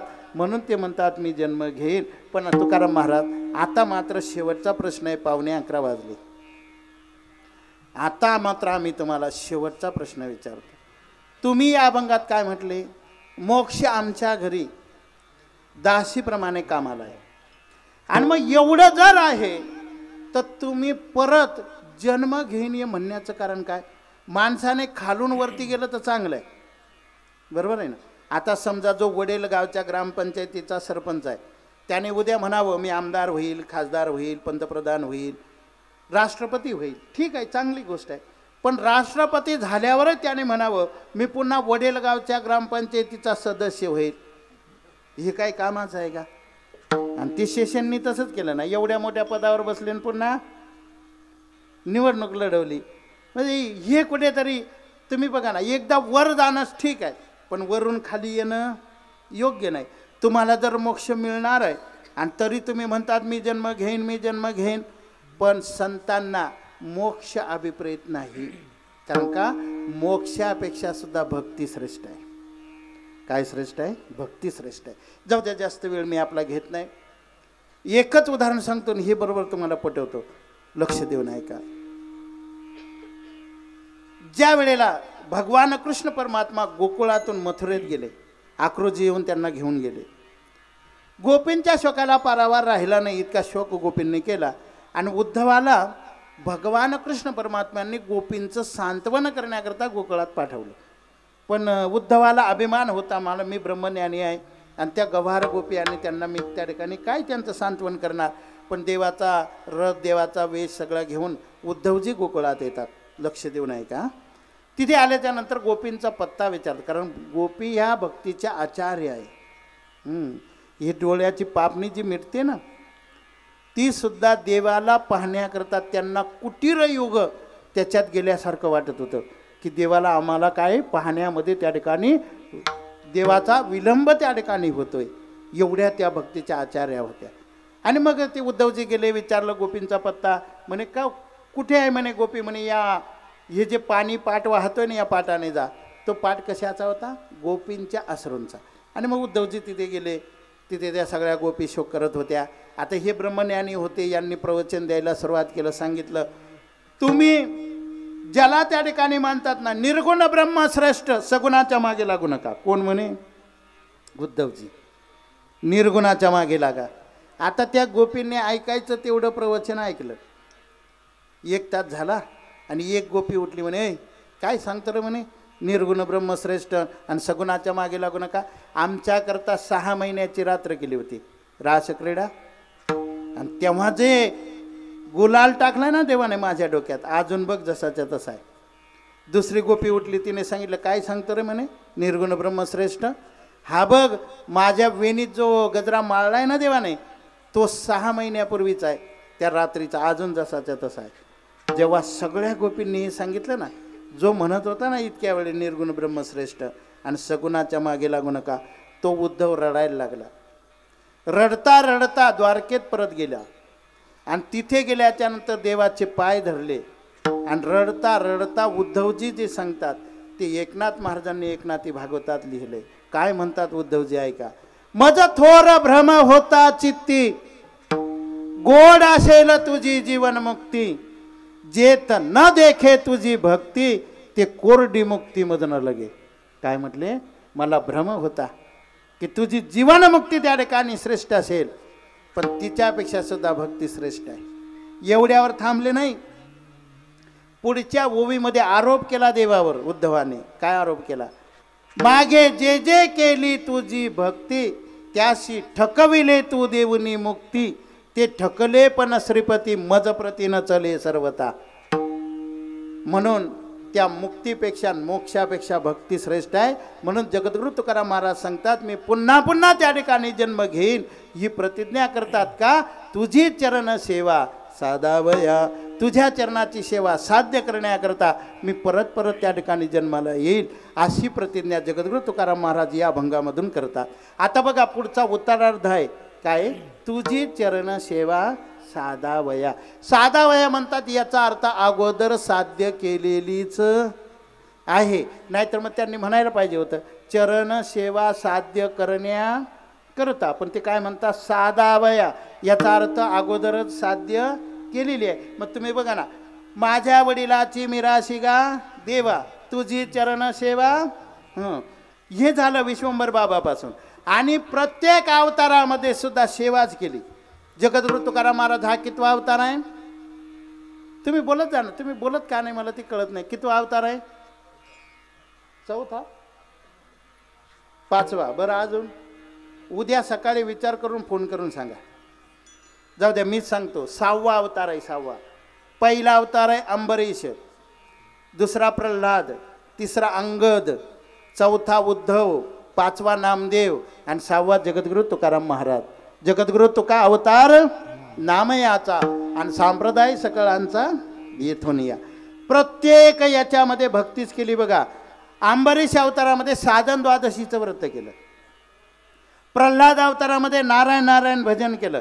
तुम्ही म्हणाल अंगद अवतारात कोणती सेवा केली? अहो शिष्टाई केल्याचं उदाहरण आपल्या धर्मग्रंथात दोघांनी शिष्टाई केली. एक भगवान कृष्ण परमात्म्याने कौरवांकडे केली आणि अंगदाने रावणाकडे जाऊन शिष्टाई केली. आणि किती विश्वास दाखवला. असा मला जास्त विस्तार नाही करायचा. पाय रोवला आणि सांगितलं रावणाला माझा पाय हारून दाखव. झालं सीता हारलो म्हणून समज. काय विश्वास आहे महाराज अंगद अवतारात आणि लोक म्हणतात काय अंगद अवतारात सेवा केली? अरे हा विश्वास ही सेवा आहे ना. एवढा काय कमी विश्वास आहे का? उद्या समजा रावणाने जर आणि रावण आल्यानंतर पाय उचलून घेतला ही बुद्धीसुद्धा वापरली महाराज. नाहीतर रावणाने जर पाय हलवला असतं तर सीता हरायला लागली असतं. आलं ना लक्षात? अंगद अवतारात सेवा केली. उद्धव अवतारामध्ये सेवा केली. नामदेव अवतारामध्ये सेवा केली. आणि तुकाराम महाराज अवतारातही म्हणून चरण सेवा साधावया. परत परत साध्य करण्याकरता. पण आता एकच सांगतो एकदा सगळ्यांनी मोठ्या प्रेमाने पांडुरंग परमात्म्याचं भजन करा. विठो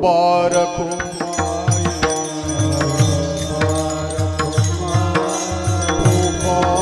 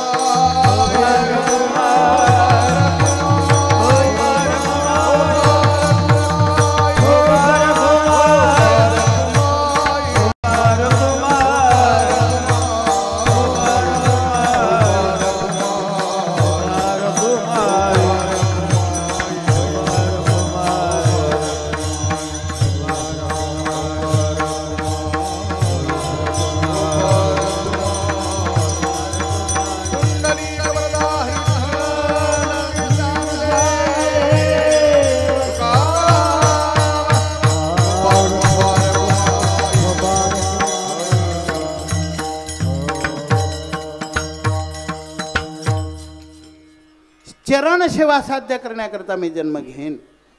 पण देवाची सेवा सगळेच करतात. करावी पण ती कशी झाली पाहिजे? निष्काम झाली पाहिजे. सकाम सेवा नको. सकाम सेवा नको. भागवतामध्ये एक अशी ओवी आहे. परमार्थाचे मुख्य पीक निरपेक्षता ते नाशिक आणि येर ते निरनाशिक. निरपेक्षता हे परमार्थाचं नाक आहे. कोणती सेवा करा ती निरपेक्ष करा. पण आपलं कसं आहे? विनाकारण सत्यनारायण करणारा माणूस अजून जन्माला यायचा आहे. काय म्हणतो मी?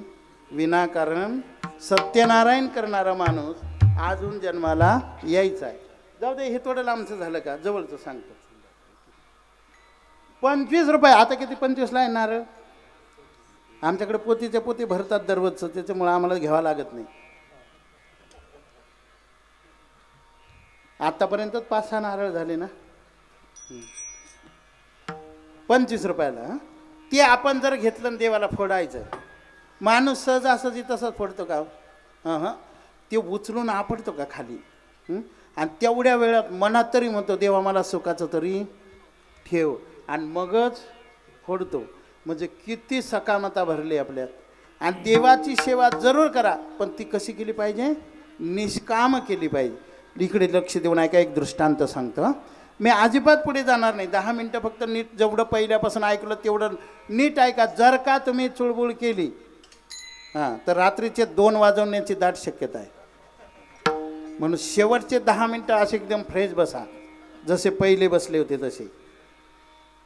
लक्ष द्या इकडे. काय झालं? निरपेक्ष सेवा कशाला म्हणतात ते ऐका हां? त्याच्यावर उदाहरण सांगतो. एवढ्याच सेवाबरोबर कळेल तुम्हाला. कारण तुकाराम महाराजांनी कोणती सेवा केली? एकदा भगवान कृष्ण परमात्म्याने अर्जुनाला बरोबर घेतलं आणि सांगितलं चला अर्जुना एका जंगलात जायचं आहे ते गेले जंगलामध्ये. आणि देवाने नाटक केलं म्हणे मला तहान लागली अर्जुना मी इथे थांबतो आणि तू जाईन जरा पाणी घेऊन ये. अर्जुन पाणी आणण्याकरता गेला जंगलामध्ये. एक झाड होतं. त्या झाडाला भरपूर पाला त्या ठिकाणी लागला होता. हिरवा हिरवा गार पाला होता झाडाला बरं का. सगळं असं पूर्ण झाड असं भरलेलं होतं पाल्याने. तिथे एक साधू होता. नंगा साधू दिगंबर काहीच नाही अंगावर वस्त्रसुद्धा नाही. आणि त्या काय करत होता खाली पडलेले वाळलेले पानं तो साधू खात होता. कोण? तो साधू. अर्जुन चालला होता पाणी आणायला. त्याने ते दृश्य बघितलं ना अर्जुन थांबला आणि जाऊन विचारलं साधू त्याला वाटलं काय महाराज हा साधू आहे? वर एवढे हिरवेगार पानं आहे ते खात नाही आणि ते खाली वाळलेले पानं खातो. त्याने जाऊन विचारलं साधू महाराज तुम्ही वर एवढे हिरवेगार पानं आहे आणि ते खात नाही आणि ते खाली वाळलेली पानं का खातात? त्याने सांगितलं तुझ्या अंगाला केस आहे का? अर्जुनाला विचारलं म्हटले मग त्याच्यातला एक केस मी उपटो का? काय म्हटले ते? त्याच्यातला एक केस मी उपटू का? ती ते म्हणे केस जर उपटला तर मला काय होईल? वेदना होतील. अरे म्हणे मग या झाडाचा जर पाला खुडला तर त्याला वेदना नाही होणार? म्हणून मी ते वाळलेले पानं खातो. अर्जुनाने नमस्कार केला साधूला काय महाराज आहे? इतका विचार करतो. अर्जुन दोन पावलं पुढं गेला आणि परत मागं फिरला. का माहिती? त्या झाडाला एक धार लावलेली अशी नंगी तलवार उभी केलेली होती. बुढाला. अर्जुनाला प्रश्न पडला हा महात्मा झाडाचं पान खुडीत नाही का? त्याला विजा होईल म्हणून. आणि याला नंगी तलवारीची गरज काय? धार लावलेले नंगी तलवार तिकडे बुडाला लावलेली होती.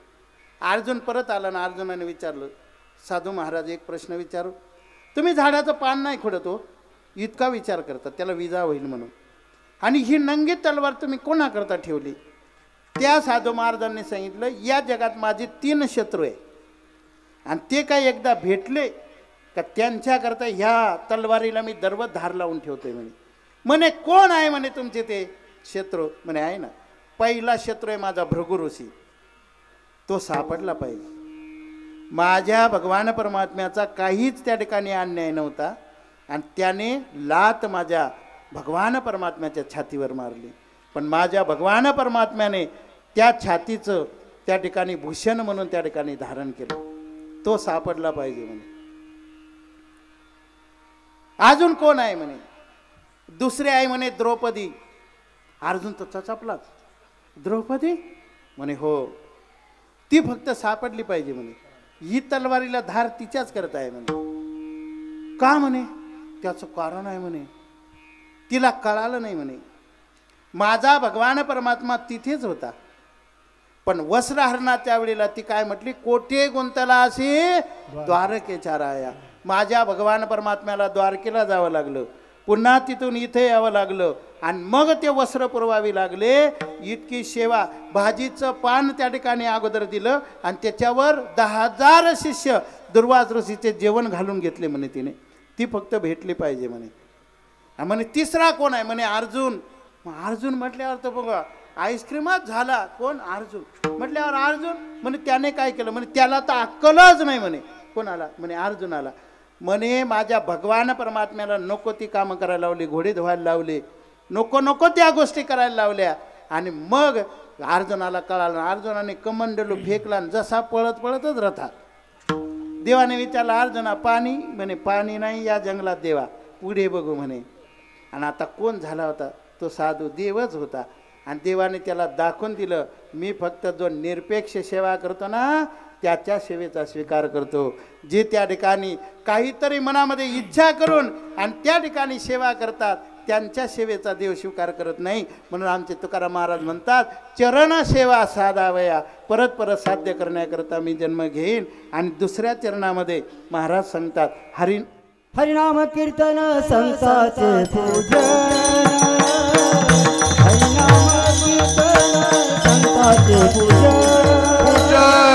हरिनाम कीर्तन पूजन. पूजन. हरिनाम संतांचे पूजन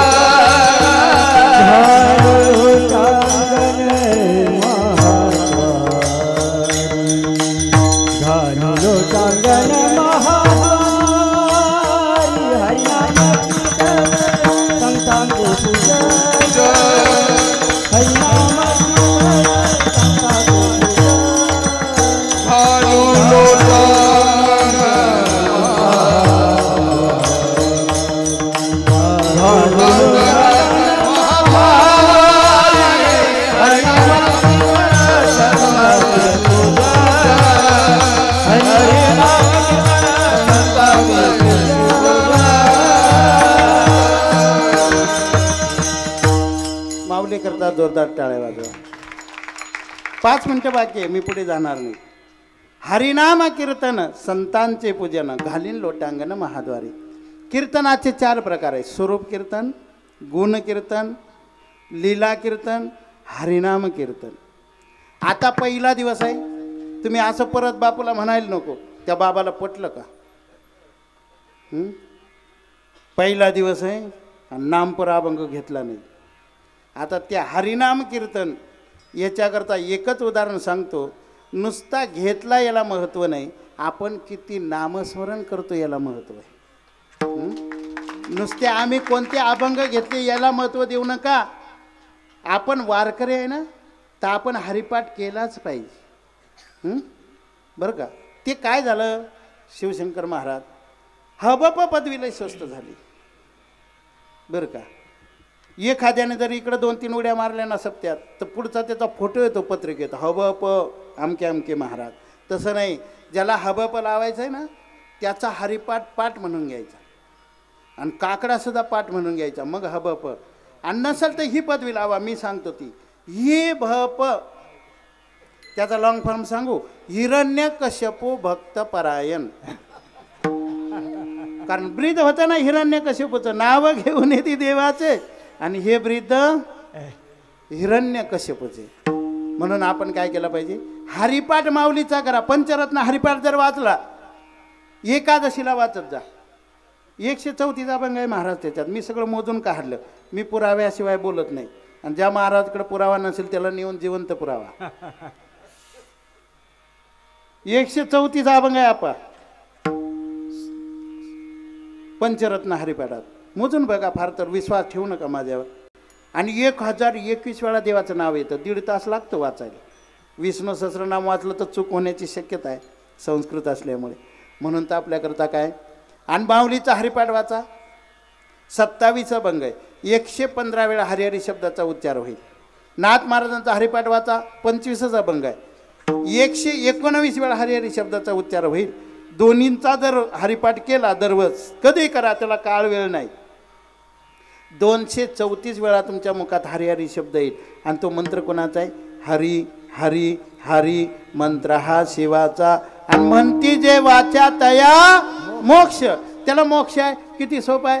चला आता शेवटचं उदाहरण सांगतो. देव पाहण्याचा प्रयत्न करू नका. बरं का? या चर्मचक्षुने तुम्ही देवाला पाहू शकत नाही. ज्या अर्जुनाला विश्वरूप दाखवण्याकरता दिव्य दृष्टी दिली होती तरी सुद्धा तो ते विश्वरूप पाहू शकला नाही. मग आपण या डोळ्याने देवाला पाहायचं नाही. देवापेक्षा देवाचं नाव श्रेष्ठ आहे. तुझ्या नामाचा महिमा तुझं न कळे मेघश्यामा आम्हा जन्म सोपा या कारणे. फक्त देवाचं नाव घ्या त्याला पाहण्याचा प्रयत्न करू नका. याच्याकरता एक दृष्टांत सांगतो लक्ष देऊन ऐकन कीर्तन संपवतं आपल्या हिंदू धर्मातला पहिला सण कधी असतो? आणि हिंदू धर्मातला शेवटचा सण कधी असतो? बोला पटकन. गुढीपाडवा अजून? लवकर लवकर बोलवा नाही तर मग आणखीन उशीर होईल. हिंद माझं कीर्तन आपा हिंदुस्थानात चालू आहे का पाकिस्तानात? आता प्रश्न विचारल्यावर तुमच्याकडे पाहून तर मला तसंच वाटतंय. एवढा अवघड प्रश्न विचारला मी. हिंदू धर्मातला पहिला सण कधी? आणि शेवटचा कधी? बरोबर. आणि शेवटचा? हां हां आता ऐका. हिंदू धर्माचा पहिला सण आहे नागपंचमी. आणि शेवट असतो अक्षय तृतीया. एकदा नागपंचमीला सुरुवात झाली आता. का अक्षय तृतीयेपर्यंत आपले सगळे सण आहे पण एकदा अक्षय तृतीया झाली कारण नागपंचमीपर्यंत आपल्या धर्माचा एकही सण नाही. डायरेक्ट सुरुवात होते नागपंचमीला. गुढीपाडवा ही चैत म्हणजे नवीन वर्षाची सुरुवात आहे. तो सण नाही. मग आता इथून पुढे आज एवढं तरी कीर्तनातून घेऊन जा. पहिला सण कधी? नागपंचमी. शेवट कधी? अक्षय तृतीया. म्हणजे किती अवघड आहे. लोक विचार करतील ना "हे हिंदुस्थानात राहतात का म्हणून? आता तुम्हाला कळा नाही या पिढीला कधी कळायचे हे सणवार? मग कुठेतरी जरा कीर्तन नीट ऐकत जा. चला नागपंचमी हां? आणि मग पूर्वीच्या बाया नागपंचमीच्या दिवशी ते वारुळाची पूजा करायला जायचं. कोणाची? नागाची. त्या दिवशी नागाचा दिवस आहे ना आज बाईलाच आहे. आणि त्या दिवशी नागाचा. बरोबर ना? मग नागपंचमीची पूजा करायला आता ते राहिलं नाही आताच्या बाया सगळ्या विसरल्या. आताचे ते वट सावित्री पौर्णिमेला जातात आप्पा. पहिले वडाला जायचे आता जात नाही त्या. आता त्या म्हणतात त्या नवऱ्यालाच सांगतात एक फांटी घरी घेऊन ये. कशाची? वडाची. आणि त्यालाच त्या ठिकाणी मी काय करते? फेऱ्या मारते. इतकं सुधारलं. पण पूर्वी काय मला वारळाला आता तुमच्याच गावचं घ्या. वडील गाव हां? इथल्या सरपंचबाई चेअरमनबाई बचत गटाचे अध्यक्ष. बाई पार्लरमध्ये जाऊन आले. कुठं? पार्लरमध्ये. कारण आता पार्लरशिवाय काहीच होत नाही. पार्लरमध्ये जाऊन आल्या नटून थटून आणि वारुळाची पूजा करायला चार वाजता वारुळाजवळ गेल्या. नागपंचमीच्या दिवशी. आता त्या सगळ्या जणी चेअरमनबाई बचत गटाचे अध्यक्ष आदी करून सगळ्या अशा बाजूने उभ्या राहिल्या. पुढं वारोळाला. आणि त्यांना पूजा कोणाची करायची होती? नागाची. त्यांच्या दैवयोगाने त्या वारळात नागन नागिन होते. बरं का? आणि ह्या अशा असा रिंगण करून उभ्या राहिल्या. मग ती नागिन काय म्हणते नागाला? का हो? आपण यांना भेटच देऊन आज आपला दिवस आहे ना? कोण म्हणते? ती नागिन म्हणते नागाला. पण तो नाग काय म्हणतो नागिनीला? नको झाकली मूठ सव्वा लाखाची. पण आता ती नागिनच ती काय गप राहते का? ती काय म्हटली माहिती तुम्हाला तर बाई कशाची हौसच नाही. मी नाही म्हणत. कोण म्हणत होतं? नागिन नागाला. आणि बहुतेक सगळ्या नागिनी नागाला. असंच म्हणता ना. तुम्हाला तर बाई कशाची? हाऊसच? नाही. आता नागाचं काही नागिनी पुढं चालत नाही. ए तुम्हाला काय माहिती? तुम्हाला अजून लई लांब आहे ते. नागिनी नागापुढे काही चालत नाही. आणि मग ते नागिन काय म्हणते? नागाचं काही चालत नाही. नाग म्हणतो आता तुझी लय हौस आहे. चल देऊ भेट. निघाले ना महाराज वारळातून नागिन नागिन बा नागन नागिन बाहेर. आता ज्या पूजा करायला गेल्या होत्या त्यांनी थांबायला पाहिजे होतं ना. दिवस त्यांचा आहे. हळद कुंकू लावून जरा पूजा करायला पाहिजे होती ना. त्यांनी ताटं फेकल्या आणि लागली ना पळायला. आणि त्या पळायला आल्यावर ती नागिन गप बसावं ना. ती काय म्हणते नागाला जाऊ द्या त्यांना कळत नाही. आपण त्यांच्या घरी जाऊन भेट देऊ. लागले ना नागन नागिन मागं. घरी आले दरवाजा खिडक्या लावून बसले. माझा दृष्टांत संपला. सिद्धांत काय? त्या पूजा कोणाची करायला गेल्या होत्या? आणि नागन नागिन बाहेर आल्यावर पळून आल्या. तसं देव पाहू नका. प्रयत्न करू नका. फक्त देवाचं नाव घ्या. कलियुगामध्ये फक्त देवाचं नावच श्रेष्ठ आहे. बाकी सगळ्या गोष्टी त्या ठिकाणी श्रेष्ठ नाही. आणि म्हणून पहिल्या दिवशी आपण त्या ठिकाणी या भंगावर एक जसं मला त्या ठिकाणी जमेल तसं मी कीर्तन करण्याचा प्रयत्न केला. आपले अकरा बरोबर त्या ठिकाणी वाजले. वाटलं पाच एक मिनटं जास्त झाले. काय हरकत नाही. असो. जे काही मी सांगितलं असेल चांगलं जरूर त्या ठिकाणी संग्रही ठेवा. जे काही बोलताना माझ्याकडून काही दोष घडले असतील तर जरूर माझं मला त्या ठिकाणी परत करा. ज्ञानेश्वर माऊली. ज्ञानेश्वर.